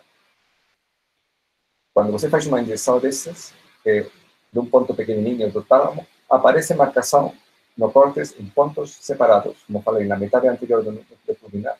Tem uma boa marcação de axônios nas camadas intermedias e na camada eh, U, na camada mais superficial do córtex cerebral, dá para ver muito bem varicosidades axonais, dá para ver muito bem também pontos de divisão na substância branca, em que os axônios continuam seu trajeto na substância branca, mas emitem um, um ramo que vai para a superfície, para uma área cortical. Essas, essas, essas imagens correspondem aos pontos assinalados com as setas nessa outra imagem. Enfim, desse, desse jeito, eh, eh, a gente analisou a distribuição da marcação no córtex eh, sobre uma, uma representação eh, plana do, do, da superfície do cérebro, tomada do, do eh, atlas do Marcelo Rosa, eh, que acho que está na audiência desse, de, deste simpósio, eh, e uma, uma, modificação e para ter uma, uma, uma, de onde colocar a marcação que a gente observava nesses casos de experimentos marcados. E eh, esta é uma, a maneira em que de, eh, o análise foi feito. Depois dessa injeção pequenininha, aparecem pontos de marcação em múltiples áreas do córtex, arborizações de axônios no córtex pré-frontal dorsolateral, eh, no pérculo do, do, do no córtex parietal inferior, no eh, córtex temporal superior e até no córtex temporal inferior, no limite com o córtex entorrinal, no, nas áreas TH e TL. Eh, quando isso é representado naquele mapa plano que mostrei, dá para ver que aquele pequeno ponto este pequeno ponto de aquí, este pequeno pontillo no tálamo, os seus axónios atingen, os neurones que están aquí ten axónios que atingen o córtex prefrontal, dorso lateral e orbital, prefrontal, eh, eh, parietal inferior, parietal superior e parietal e temporal inferior. Tá? Eh, e fizemos outros experimentos como esse, cada um deles, o padrão de marcação produzido foi similar, com pequenas diferenças, quando a emissão fica dorsal, ou, a marcação fica medial no córtex temporal, quando a injeção um pouco mais caudal diminui a marcação do, do, do, do lobo, tempo, do lobo pré-frontal, do lobo frontal, mas, enfim, o, padrão é muito semelhante.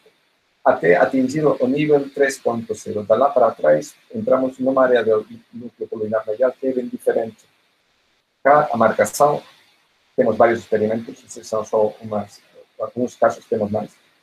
Uma e outra vez, só temos marcação no lobo, no lobo temporal, eh, são, são vários focos, às vezes mais eh, mediais, mais dorsais, mas de cada ponto sempre várias eh, áreas de marcação, uma área relativamente extensa, mas toda ela focada nas áreas do córtex temporal associativo, áreas que estão envolvidas no reconhecimento, reconhecimento de objetos, de, de, de, de caras, de, das faces dos outros eh, con específicos, dos outros macacos, enfim, áreas que estão envolvidas em percepção visual muito complexa eh, de, de, aspectos simples da visão, mas de, de objetos eh, e, e, de identificação de padrões complexos. Quando a injeção fica medial, no núcleo pulvinar medial, perto do, canto mais medial, a injeção é extremamente pequenininha, não sei se dá para ver na, na, na tela, mas é um ponto extremamente pequeno, são umas poucas docenas de neurônios que foram atingidos. Mas desse ponto tão pequenininho, outra vez, vários pontos do córtex, no, neste caso, o córtex prefrontal medial e o córtex temporopolar, recebem inervação desse ponto. Tá? É, ficam bem longe um do outro, mas é, os neurônios que saem daqui é, atingem com as ações necessárias tão longe uma das outras.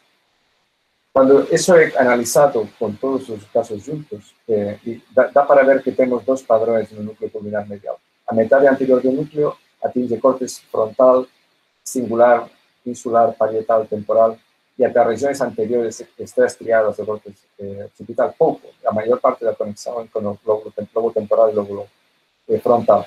No entanto, a metade caudal do núcleo pulmonar medial eh, são áreas temporais quando cruzamos a, a fronteira do núcleo lateral, do núcleo pulmonar lateral, a, a vira completamente occipital e temporal, com uma marcação intensa áreas, das áreas extraestriadas visuais. Também fizemos uma análise de, de, de, e, da, e, do tamanho das, sinápticas, mas não entrar para não demorar. E queria mostrar esses últimos dados que são bem interessantes. E agora que conhecemos com detalhe a posição dos axônios eh, que saem desses pontos pequenos de, de, do núcleo pulmonar medial, colocamos inyecciones de marcadores axonais retrógrados que se acumulan no, no corpo dos neurônios nesses, nesses pontos especificamente. Quando a, a posição das injeções eh, estava eh, bem alinhada exatamente no lugar que, que, que, tínhamos observado com axônios marcados naqueles outros experimentos, observamos a presença de, primeiro, no núcleo pulmonar medial de neurônios que iam para o lobo frontal, vermelho, e neurônios em azul, azul que iam para o lobo parietal, tá? Mas também muitos neurônios, eh, não, não, não uma grande maioria, mas uma maior, um número consistente de neurônios que tinham dupla marcação, que tinham os, os, dois, cor, os dois cores, vermelho e azul, no soma.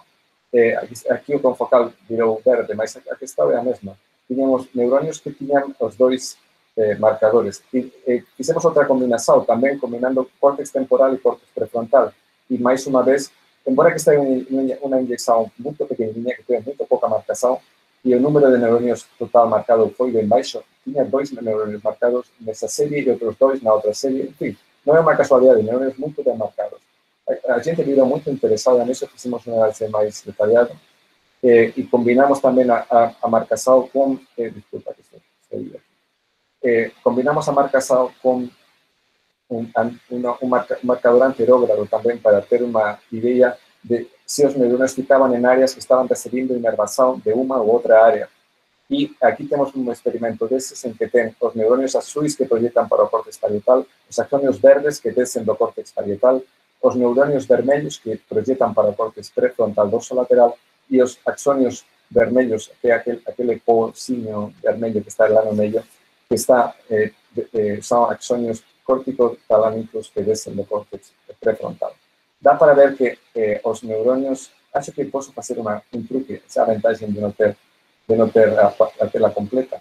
Dá para ver aqui na imagem como os, os neurônios azuis estão no meio dos axônios verdes, os neurônios vermelhos estão no, no meio dos axônios vermelhos. Esses são como dois, duas, dois compartimentos, cada um com suas conexões recíprocas de IA eh, de ida e volta entre os dois, eh, entre as duas, duas regiões do córtex. Mas também tem esses outros neurônios, como esse daqui, esse outro daqui, esse outro daqui, que tem eh, as duas cores. Eh, são, eh, tem um cor eh, violeta, porque tem cor vermelho e cor azul. Quando depois enxergamos com mais cuidado no, no confocal, como se podem, podem enxergar melhor aqui nesta parte direita da tela, são neurônios que têm as duas cores, que seus axônios estão indo para o córtex prefrontal e o córtex prefrontal e o córtex parietal. E, eh, além disso, temos também neurônios vermelhos que ficam no meio dos axônios verdes. E temos neurônios azuis que ficam no meio dos axônios verdes. Temos, por isso, uma possibilidade de interação complexa entre o córtex prefrontal e o córtex parietal através do pulmonar medial. Podemos ter neurônios que recebem sinais da outra área, que descem pelos axônios córtico-talâmicos, e vão de volta só para aquela área. E também temos neurônios que recebem sinais de, de uma área e da outra, porque estão aqui no meio, entre, eh, eh, ou estão nessas áreas de mistura, e eh, depois os eh, se eh, ramificam e atingem os dois, eh, áreas. A diferença entre uma sinal e a outra é que a sinal que, que eh, por un neuronio que só va para un área ou para outra, independentemente, no, ten, eh, no vai ser necesariamente sincrónica. Por enquanto, a sinal que chega de neuronio desses que tem axônio ramificado vai ser sempre sincronizada nas duas áreas. Essa, isso vai, a, gente acha que pode ser um substrato que favoreça a atividade sincronizada eh, entre os dois eh, pontos do córtex, pelo que, eh, de outra maneira, ficam longe um do outro eh, e eh, podem obter, através do tálamo, um sinal de que o nível de, de, de eh, intensidade ou que o nível de atenção das duas, de, de, referido a um estímulo, atingiu um nível suficiente para propagar a atividade além da, da, da região onde está se originando e envolver múltiples áreas corticais em diferentes pontos do córtex. E eh, sei que tenho pouco tempo, não sei se já passei, porque comparamos aquele problema com a tela, não quero me entretener mais, só queria eh, eh, voltar para o início da minha apresentação. É uma pena que esse trabalho não vai, vai ser firmado pelo Joe a título póstumo, mas realmente não tive tempo de, de mostrar para ele as figuras bem elaboradas. No, a última vez que estive com ele, no, no ano passado, eh, no mês de eh, fevereiro, eh, início de março, desculpa. enfim, ainda não tinha todo esse material tão elaborado, mas ele estava com muito interesse em saber como ia dando os resultados dos experimentos e, e tenho a mesma, a mesma que Andrei falava. Ele estava interessado no trabalho e preocupado pelo, pelo, pelo, pelo desenvolvimento dos projetos de, de, dos seus de, orientados de, de pós-graduação de, de, cada um deles e do período que tivesse que tomasse conta de, de, continuar o trabalho que, que tinham começado, enfim, com uma naturalidade e com uma alegria, uma, uma serenidade que impressionava. Eu, eu saí daquela casa realmente muito impressionado. Passei, passei a tarde inteira com ele também. A sua esposa, com a Ana Cláudia, ainda lembro é, muito bem. Enfim, é, esse foi é, o, o, o, meu, é, o meu comentário, a coisa que eu queria mostrar. Agora podemos passar também para as perguntas quando você quiser, Cecília. Obrigada, Francisco. Muito obrigada. Linda palestra também.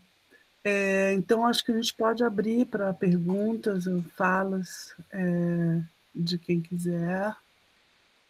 É, o diretor do Instituto de Biofísica está agradecendo aos palestrantes e participantes. É, dizendo como é importante essa oportunidade de celebrarmos a vida e o impacto que o professor João Franca causou em sua área de estudos, na formação científica e humanística de seus alunos e colaboradores. É. Obrigada, Bruno. Então, podemos é, abrir para perguntas.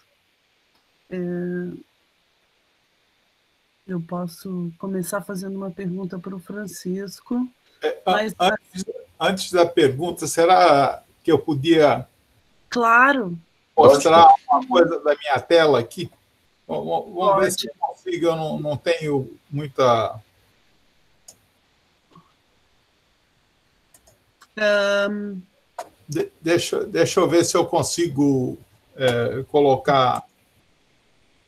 Embaixo tem o apresentar agora, tá vendo? Na, na barra de baixo, à direita. É, é, é vocês estão vendo o, o, o, PDF? Não. Ainda não. Professor não. Ricardo, qual é o browser que o senhor está? É, eu tô, estou no Google. No, no Chrome mesmo, né? É, não, então deve funcionar. Deixa eu ver se eu consigo. Não, ele não, não me dá essa opção. Mas, é, basicamente, share Windows, vamos ver se aparece. Agora é, o apare... meu apareceu, está aparecendo, está aparecendo. Ótimo. Eu tive o prazer é, e a honra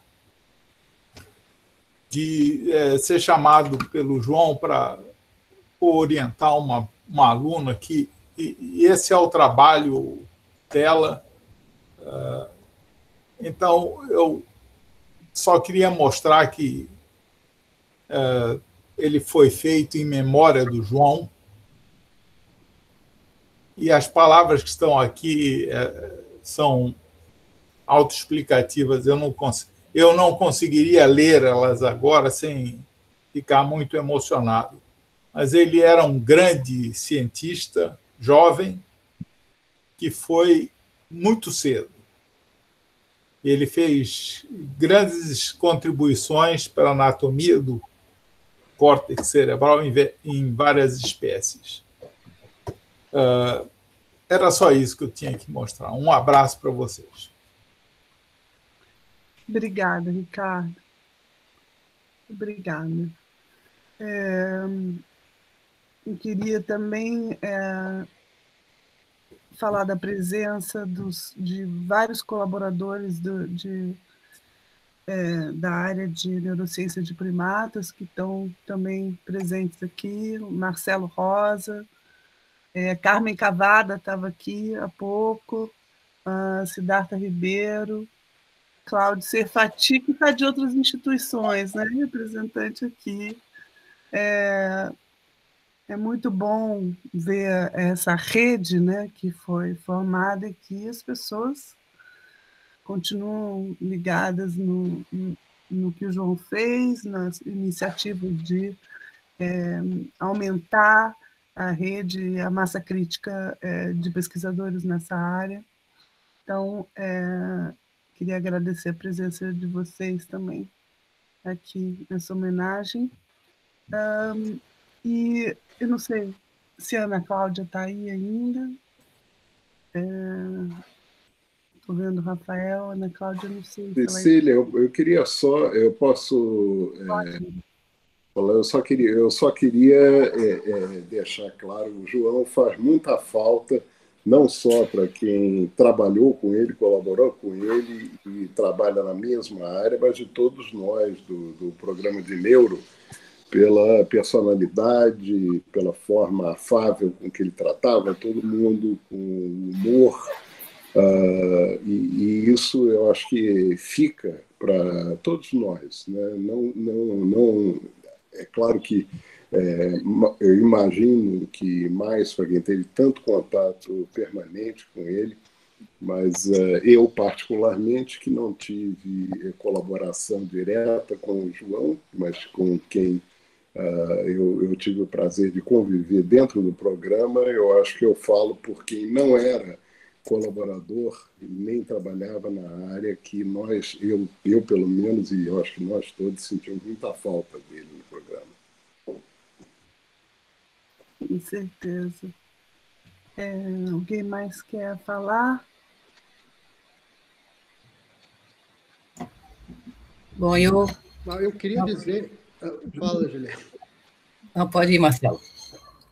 Não, eu só queria dizer que é uma experiência muito interessante para mim estar aqui duas e meia da manhã, vendo um monte de gente que eu não vejo há muitos anos.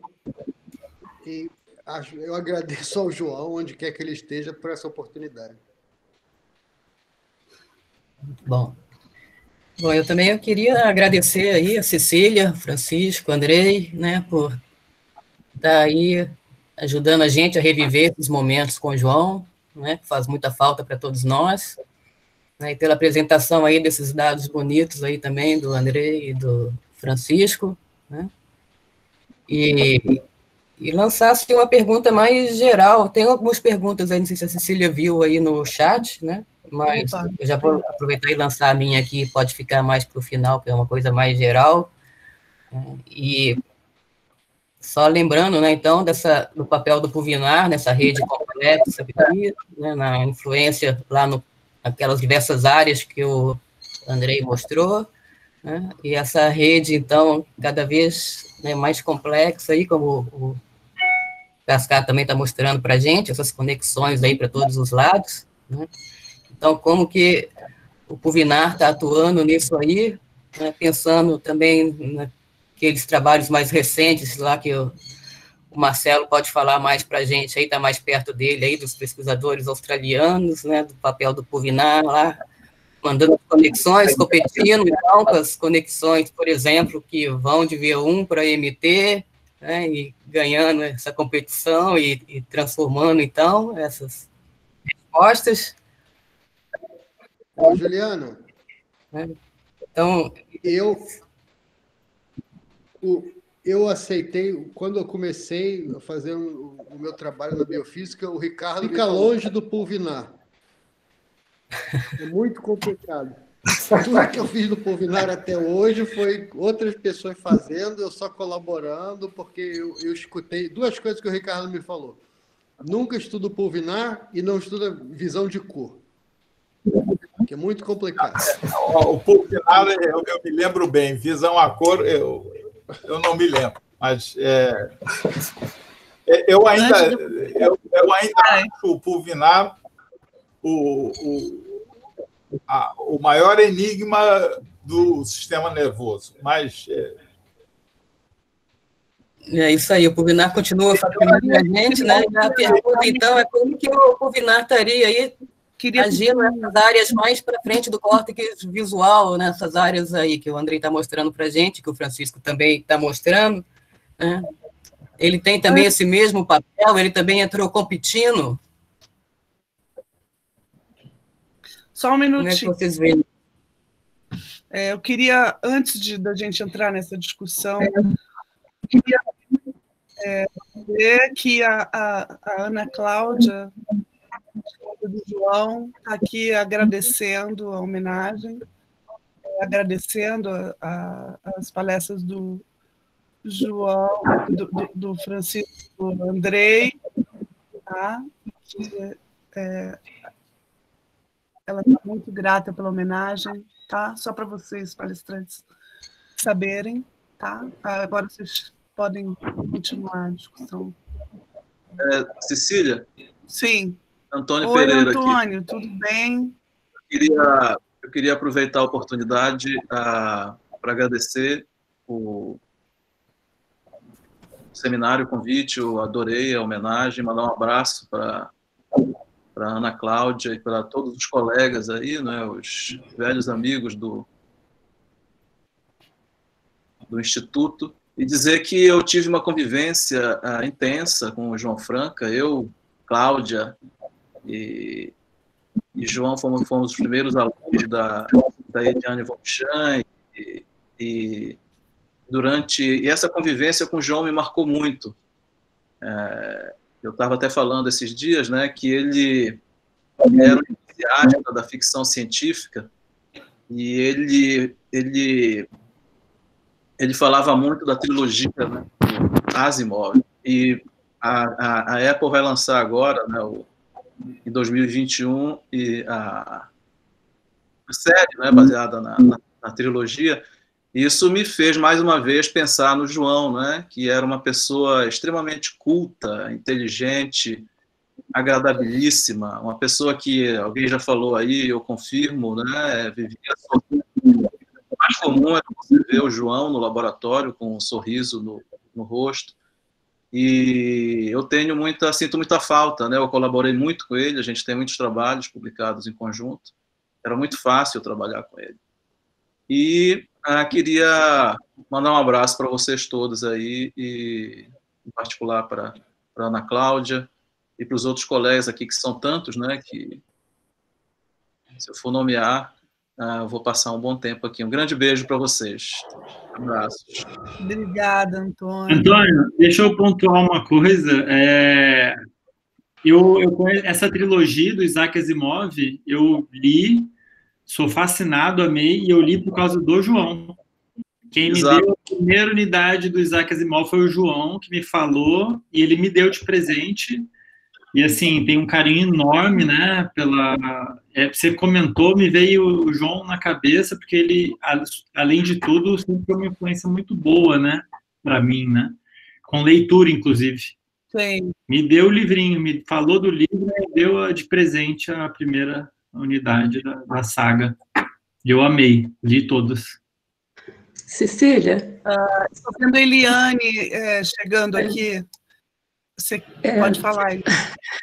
Vamos ver se eu consigo falar, porque é muita emoção essa vai ser difícil. Essa homenagem, queria mandar um, um grande abraço para a Ana, é, para toda a família dela, para o filho, e agradecer vocês, né, de fazer essa homenagem para o João, que faz tanta é, falta para a gente, né? A gente não dá para acreditar que, que ele se foi tão cedo. E,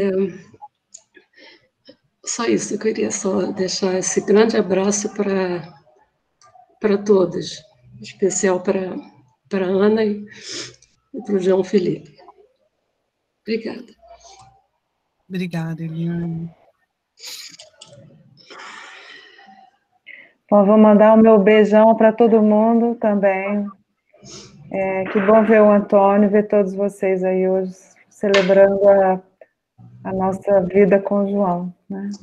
Que continua.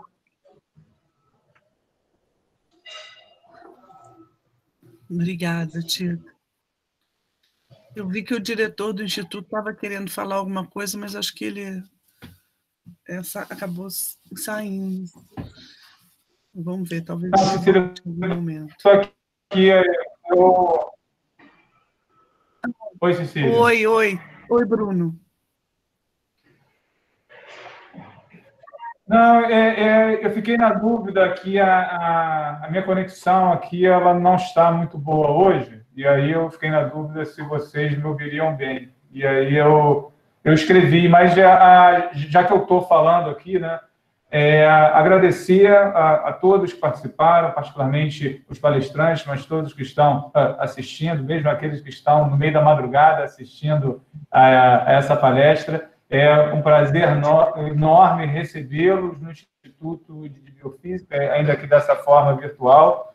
É, Para comemorar os 75 anos do Instituto, é, e a, ainda mais importante nesse momento para comemorar o João, né? porque eu, eu, eu, tive pouco contato com o João, infelizmente, mas a, a, acho que das poucas vezes que eu tive contato com ele, a sensação foi sempre de sair mais, mais leve e mais, mais tranquilo depois de conversar com ele. Uma pessoa de uma inteligência assim, realmente chegava a ser assustadora e mas também de uma, uma facilidade de você se aproximar e conversar com ele é impressionante. Eu conheci um pouco mais o João através dos seus alunos, né, que honraram muito o que, o, o que era o João e o que é, né, ainda vivendo na nossa memória, como o Andrei, né, que eu tive a chance de conviver um pouco mais como representante de alunos,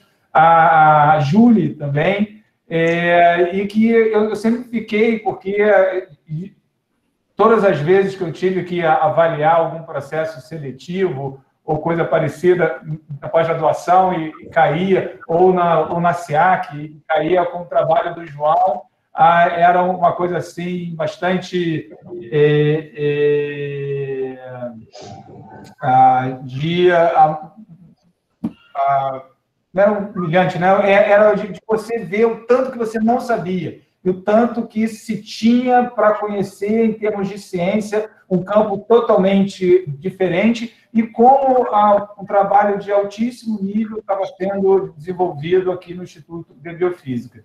E até por conta disso, eu tenho conversado muito com o Bruce em relação ao, ao biotério, e aí eu gostaria de, de, de fazer essa declaração de, de forma pública aqui, que ah, o biotério de primatas ele é considerado como uma estrutura estratégica do Instituto de Biofísica e como uma estrutura estratégica, todo o esforço será empregado para que ele continue funcionando e de forma cada vez melhor. Tá? Esse ah, é o nosso compromisso e acho que é o mínimo que a gente pode fazer para honrar a memória do João. Tá? Muito obrigado. Obrigada, Bruno. Excelente. Então, pessoal, acho que a gente volta aqui para a pergunta que a Juliana fez. Eu não sei, Francisco. Não sei se o Francisco está aqui ainda na sala para responder, que já está tarde, provavelmente. Sim, sim, sim. Tá. Não, ainda não é tarde demais. são as seis e meia da tarde agora. Uhum. Francisco, você ainda se recorda da pergunta da, da Juliana? Não, é que não, não, acho que não percebi a, a, pergunta, a pergunta completa. Ela perguntava sobre o Pudunar, mas não, não lembro bem exatamente. É, bom, não sei também onde é que ela. Volte, volte a perguntar, por favor. Mais, era uma pergunta mais global, uma provocação geral aí para todos, né? E é, essas conexões do Pulvinar, essa rede tão complexa que ele forma, né? e a maneira como ele entra na evolução, né, competindo com as conexões anti-originais, por exemplo, de V1 para EMT, né? ele entra competindo com aquilo ali, se estabelecendo, inclusive mudando um pouco ali das funções dessas áreas. Né? Então, como que vocês enxergam isso? Bom, quer dizer alguma coisa, André? Não, Francisco, é, vou deixar não. para você. É. Não, bom, acho, acho que o combinar também não é uma coisa tão nova na evolução. Os estudos desses últimos anos eh, da, do grupo do Takeshi Kaneko, da, da, da menina da Inglaterra, bom, há vários estudos em provedores que mostram que as divisões fundamentais do pulvinar estão já muito bem marcadas no, no, no, no camundongo. No camundongo você tem o, o lateral posterior medial rostral, o pulvinar medial, o lateral posterior medial caudal, o pulvinar inferior e tem o eh, lateral posterior lateral e o pulvinar lateral. E tem, e tem os, os, padrões de conexões simples e muito, muito mais eh, eh, pequenos, lógico, tudo, mas é, é uma versão à escala de, do que o pulvinar tem. Dessa maneira, eh, até as interações retrógradas de, de feedback de, através do pulvinar para o P1 eh, você tem desde o pulvinar lateral. Enfim, acho que de alguma maneira eu, a, a, ideia da competição, acho que os dois saem na, na, na corredeira, saem juntos, não saem, porque chega primeiro está um depois chega o outro, eles estão lá desde o início.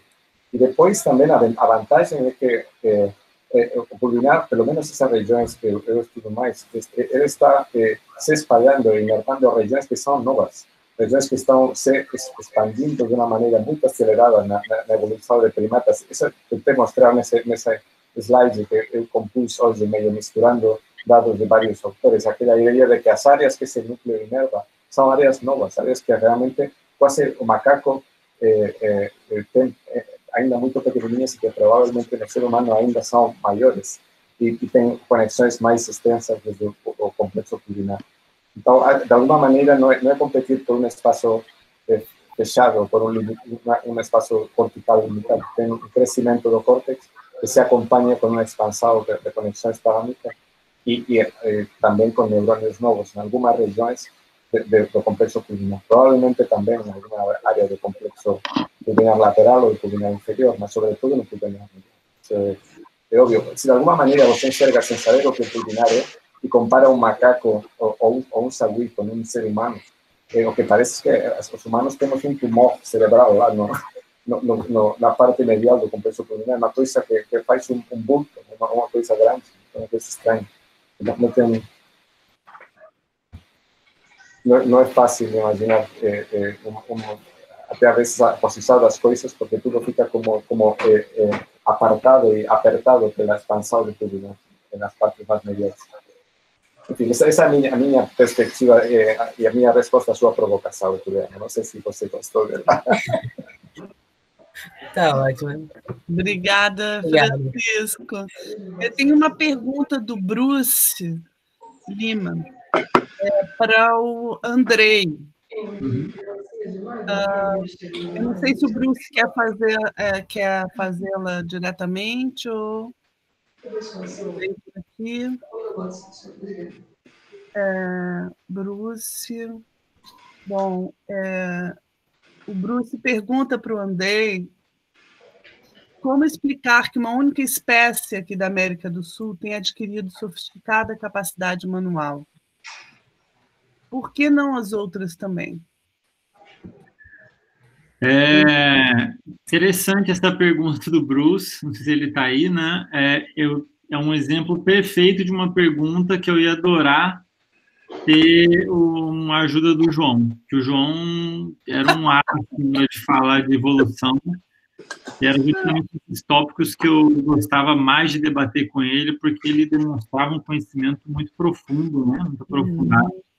Mas, assim, é, dito em linhas gerais, né, acho que, não, na verdade, não, não é uma questão de explicar, né, a gente simplesmente teve isso, né, é assim que os sistemas se desenvolveram aqui na, nas Américas.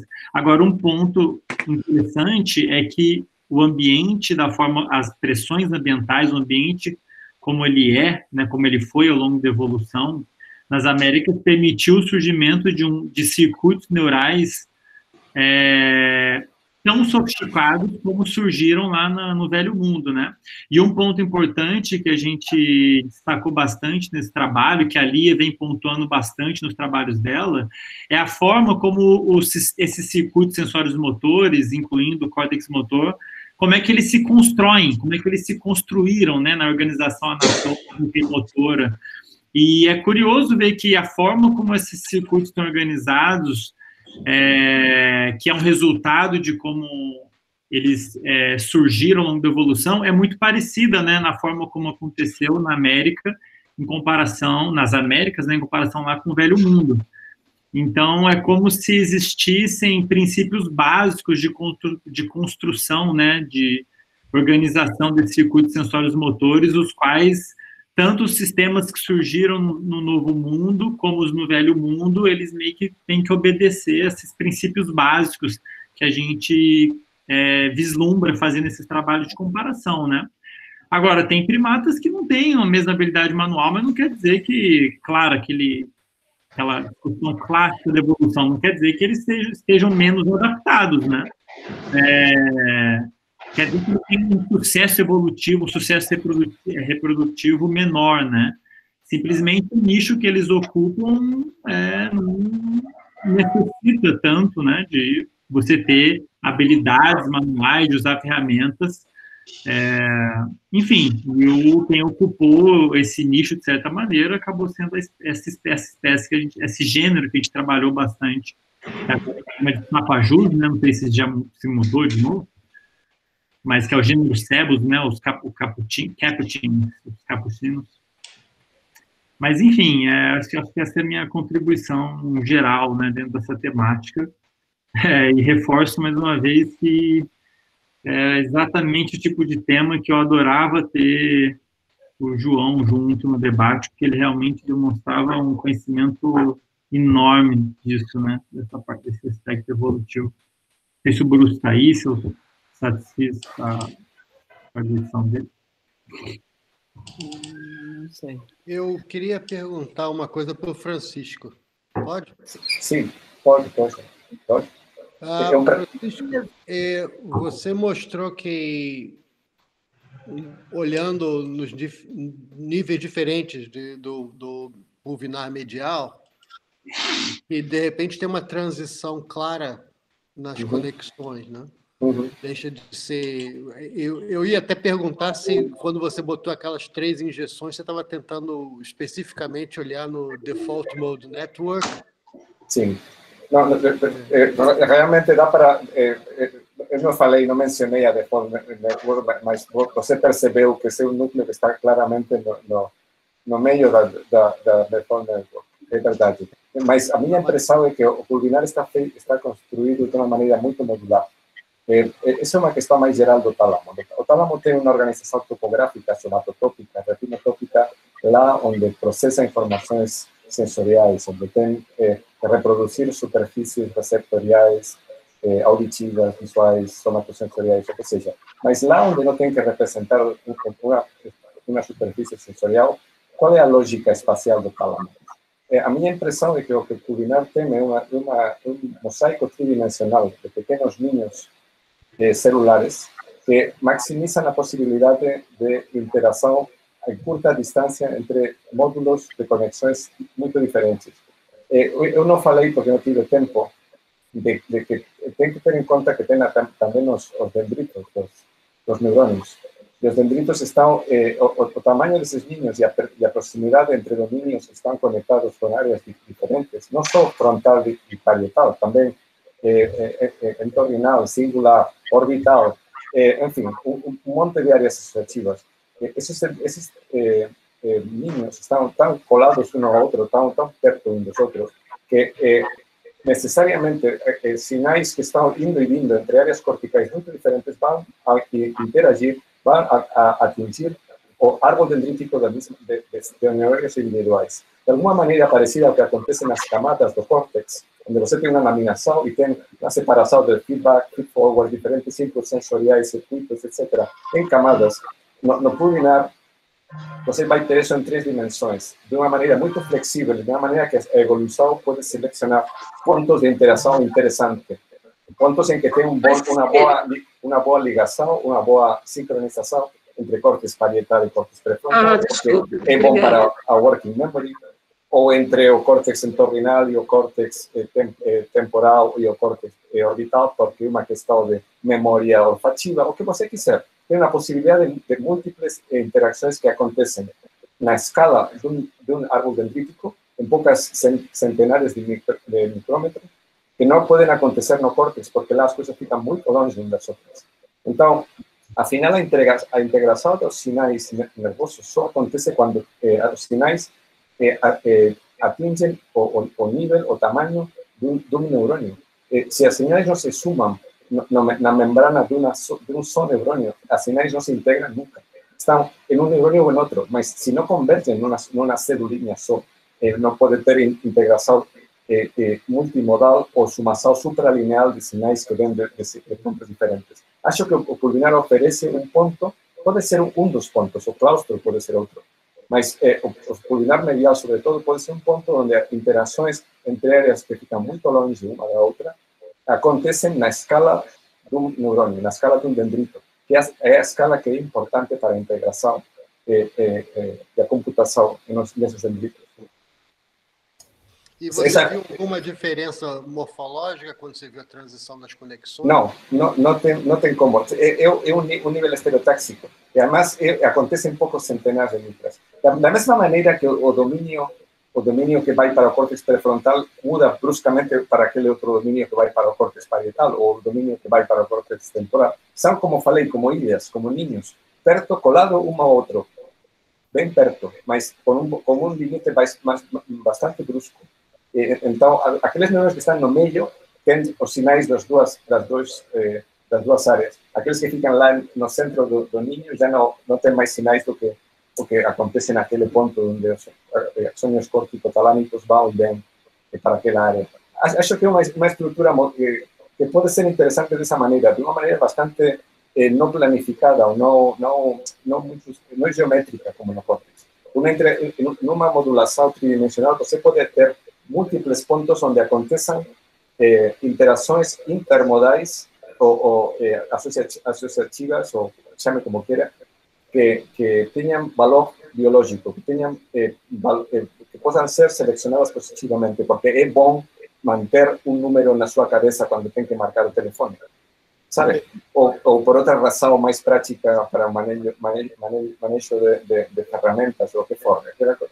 É uma coisa que não, não eh, provavelmente há muitos, há, há muitos pontos onde não é muito interessante mistura de sinais, mas outros podem ser lugares eh, onde realmente eh, eh, os neurônios tenham uma mistura de sinais ideal para combinar a eh, atividade de áreas que estão eh, pela pressão seletiva, pelo, pelo desenvolvimento do, do, esqueleto, do esqueleto, do que for, pode ter mudado e agora tem uma pinça manual mais controlada, tem, não sei, isso levaria uma conversa bem mais longa, talvez a próxima vez que a gente se encontre em algum meeting, Marcelo, temos uma conversa sobre isso, mas acho que o pulvinário é um, na minha cabeça é uma coisa que pode ser parecido ao que é o córtex o, o córtex cerebral das aves, um córtex que não é laminado, um córtex que é um, Francisco, uma estrutura ah, tridimensional. Então, obrigado. Vou deixar o Ricardo agora. Sim, sim. Não, só, só para saber, é, o, o tamanho dessas interações são equivalentes ao tamanho do, glom, do glomérulo do é, descrito na década de 60 no Pulvinar, ou eles são maiores? Não, as interações tem, acontecem eh, no, no, âmbito, no, no rango do, do, de 100, 200, 300 micras. O, o diâmetro dos, dos árboles dendríticos dos neurônios do pulvinar do, do Sagui, por exemplo, são 400, eh, 450 micras. Eh, todos os, eu tinha até uma figura que não mostrei, posso mostrar? Eu não sei se, se é eh, demais já mostrar uma, uma coisa, mas é porque tenho um desenho e é muito melhor falar sobre desenhos que eu sou anatomista, sabe? Não, não tenho como não falar sobre desenhos. Mas eu estou pronto para ver, eu estou pronto para ver. Deixa, deixa só que eu é que tenha um, um, um desenho no final. Onde você procura aí, Francisco? Vou falar, é. oi, Elisa! Sim, sim. Elisa, olá. Bom ter você aqui. Elisa, seu microfone está desligado. Liga o microfone, Elisa. Tá Oi, muito... não, liguei, liguei, liguei, liguei, liguei. Oi, gente, estou aqui de longe apreciando essa conferência e, e como eu disse no, no chat, é muito bom poder assim estar tá junto com vocês para a gente lembrar de todo o carinho e de toda a falta que o João nos faz, né? Eu estava lembrando aqui que como eu saí muito cedo, muito logo que ele bem logo que ele começou, assim, a gente ah, sobrepôs talvez um ou dois anos e depois eu fui embora, mas a minha lembrança que eu fiquei dele é de, dele muito jovem e da gente fazendo experimentos durante a noite com gambá dentro da... E ele trazia sempre os... Ah, comida de bebê num jarrinhos assim, ele adorava comer as comidas de bebê, eu achava aquilo esquisitíssimo, mas a gente dava gargalhadas a noite inteira, foi muito divertido. E até hoje eu considero ele assim o meu sobrinho científico, né? Que ele trabalhava com a Eliane, que era minha irmã científica, digamos assim. E então eu tenho sempre tive muito carinho por ele e, e é muito legal ter visto como que ele evoluiu e, e, e criou assim todo um grupo e, contribuiu tanto para para nossa ciência em geral. De qualquer maneira, queria só dar um beijinho aqui para todos, mandar um abraço aqui de longe e eu vou voltar pro pro, pro Francisco para ele poder nos mostrar mais dados. Então, beijo. Obrigado, Elisa. Obrigado. Obrigada, Elisa. Bom te ver. É, Francisco, mostra aí para a gente. Eu gostei muito do seu slide do, do Salman e do Sharman. É, eles são bom, muito bons. Bom, eu, este é o slide que eu queria mostrar. É, a minha impressão é que o pulvinar é, uma amalgama ou uma mistura, um, um mosaico, uma salada de, de pequenos domínios celulares, cada um deles conectados com uma área de maneira principal mas nos quais nos, os dendritos dos, dos, dos neurônios que ficam na periferia desses, dessas ilhas estão recebendo sinais de outras áreas. Porque tudo acontece numa escala tão pequenininha eh, que, que, é suficiente para que um eh, neurônio fique, por exemplo, esse neurônio que está aqui, está recebendo sinais eh, da, da, das ações córtico-talâmicos azuis e das ações córtico-talâmicos amarelos. Eh, ou isso pode acontecer assim na área de, de, de encontro entre as duas áreas, até uma área de overlap, lá onde tem área de overlap, pode acontecer também. Então, esse tipo de, de, de mistura caótica de sinais pode ter muitos pontos de interação, de interações que, que sejam interessantes e que evolutivamente tenham se selecionado. E para voltar para qual era a imagem que você pedia, eh, eh, Ricardo, era, era essa? Ricardo? É Ricardo? Era do Salman. É... Ah, do, Sal, ah, do Salman. Ah, sim, sim, sim. sim. Tá. Era essa. É, é, é, é, na verdade, é, queria fazer só um comentário. eu, eu tenho trabalhado agora com a ideia de que nós fazemos representação neural num network. É, uhum. É, do, não existe nenhuma área visual que tenha a percepção. E aí eu tenho. Eu vou mandar para você um, um, uma revisão que eu escrevi agora para os oftalmologistas, uhum. e, é, e que fica claro que quando você é, muda a posição da cabeça, você muda a representação visual. Mas uhum. essa representação visual, ela não está em nenhuma das áreas. É, é, tanto a, como o movimento ocular tem um sistema de, de remapeamento no córtex infratemporal, você precisa ter uma rede, e essa rede tem que ser dinâmica para re, re, remapear. É, isso, isso. A, a, a, o seu slide anterior, é, que é o, o do Sharman. É, esse? É, não, esse, esse, esse. Aliás, esse slide é, é muito legal. Eu, eu, eu, eu, vou tentar achar ele, senão você me manda essa, esse slide aí, que eu, eu quero estudá-lo. Uh, numa coisa que o Marcelo Rosa é, passou para Juliana para fazer inativações de GABA. Uhum. É, e, e, isso evoluiu, nós colocamos GABA em vários lugares e o efeito é sempre o mesmo. Então, uh, eu, eu, eu, vou entrar na internet daqui a pouco para procurar isso, mas é, é só quero dizer que foi um, um um prazer enorme é, é, ver essa apresentação de vocês, quer dizer, revê-los todos. Acho que é, é, incrível. É incrível que o Marcelo, às duas horas da manhã, esteja lá, é, mas é, eu não perderia isso por nada, principalmente pelo João. Um abraço a todos. Um abraço, Ricardo. Muito obrigado. Bom, acho que eh, agora tem uma outra perguntinha que ficou aqui, eu vou depois encaminhar para os palestrantes. E eu queria agradecer imensamente ao Andrei e ao Francisco pelas maravilhosas palestras que vocês deram e pela oportunidade da gente é, ver é, os, o corpo de resultados do trabalho do João e também as diferenças, as diferentes influências, não só científicas, mas humanas, né? que ele teve. A Ana Cláudia tá, de novo mandou uma mensagem agradecendo muito a vocês. Falou que a família toda estava assistindo e que eles ficaram muito emocionados, então ela não quis falar. Tá?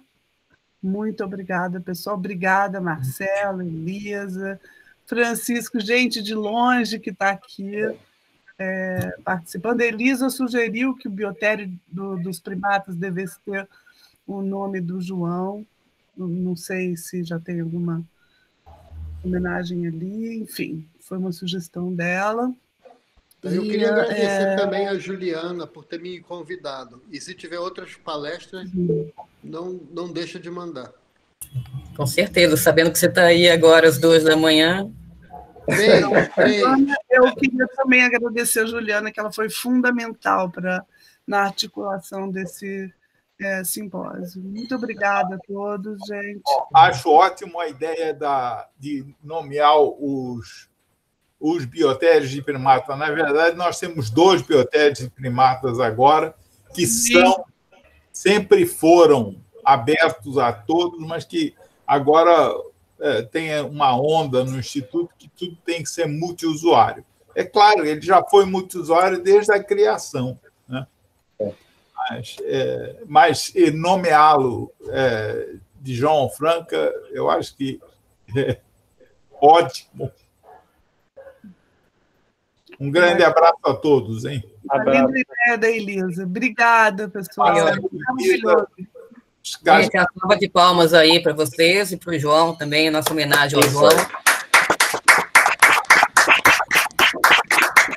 Olha só, eu achei que o André, com essa barba cerrada, ficou mais velho. Mas ele. É... A idade chega para todos nós. Obrigada, pessoal. Olha ali a Sandrinha também. Beijo, Sandra. Um abraço. Um abraço para todos. Muito obrigada, pessoal. Até. E muito, muito cuidado com o coronavírus.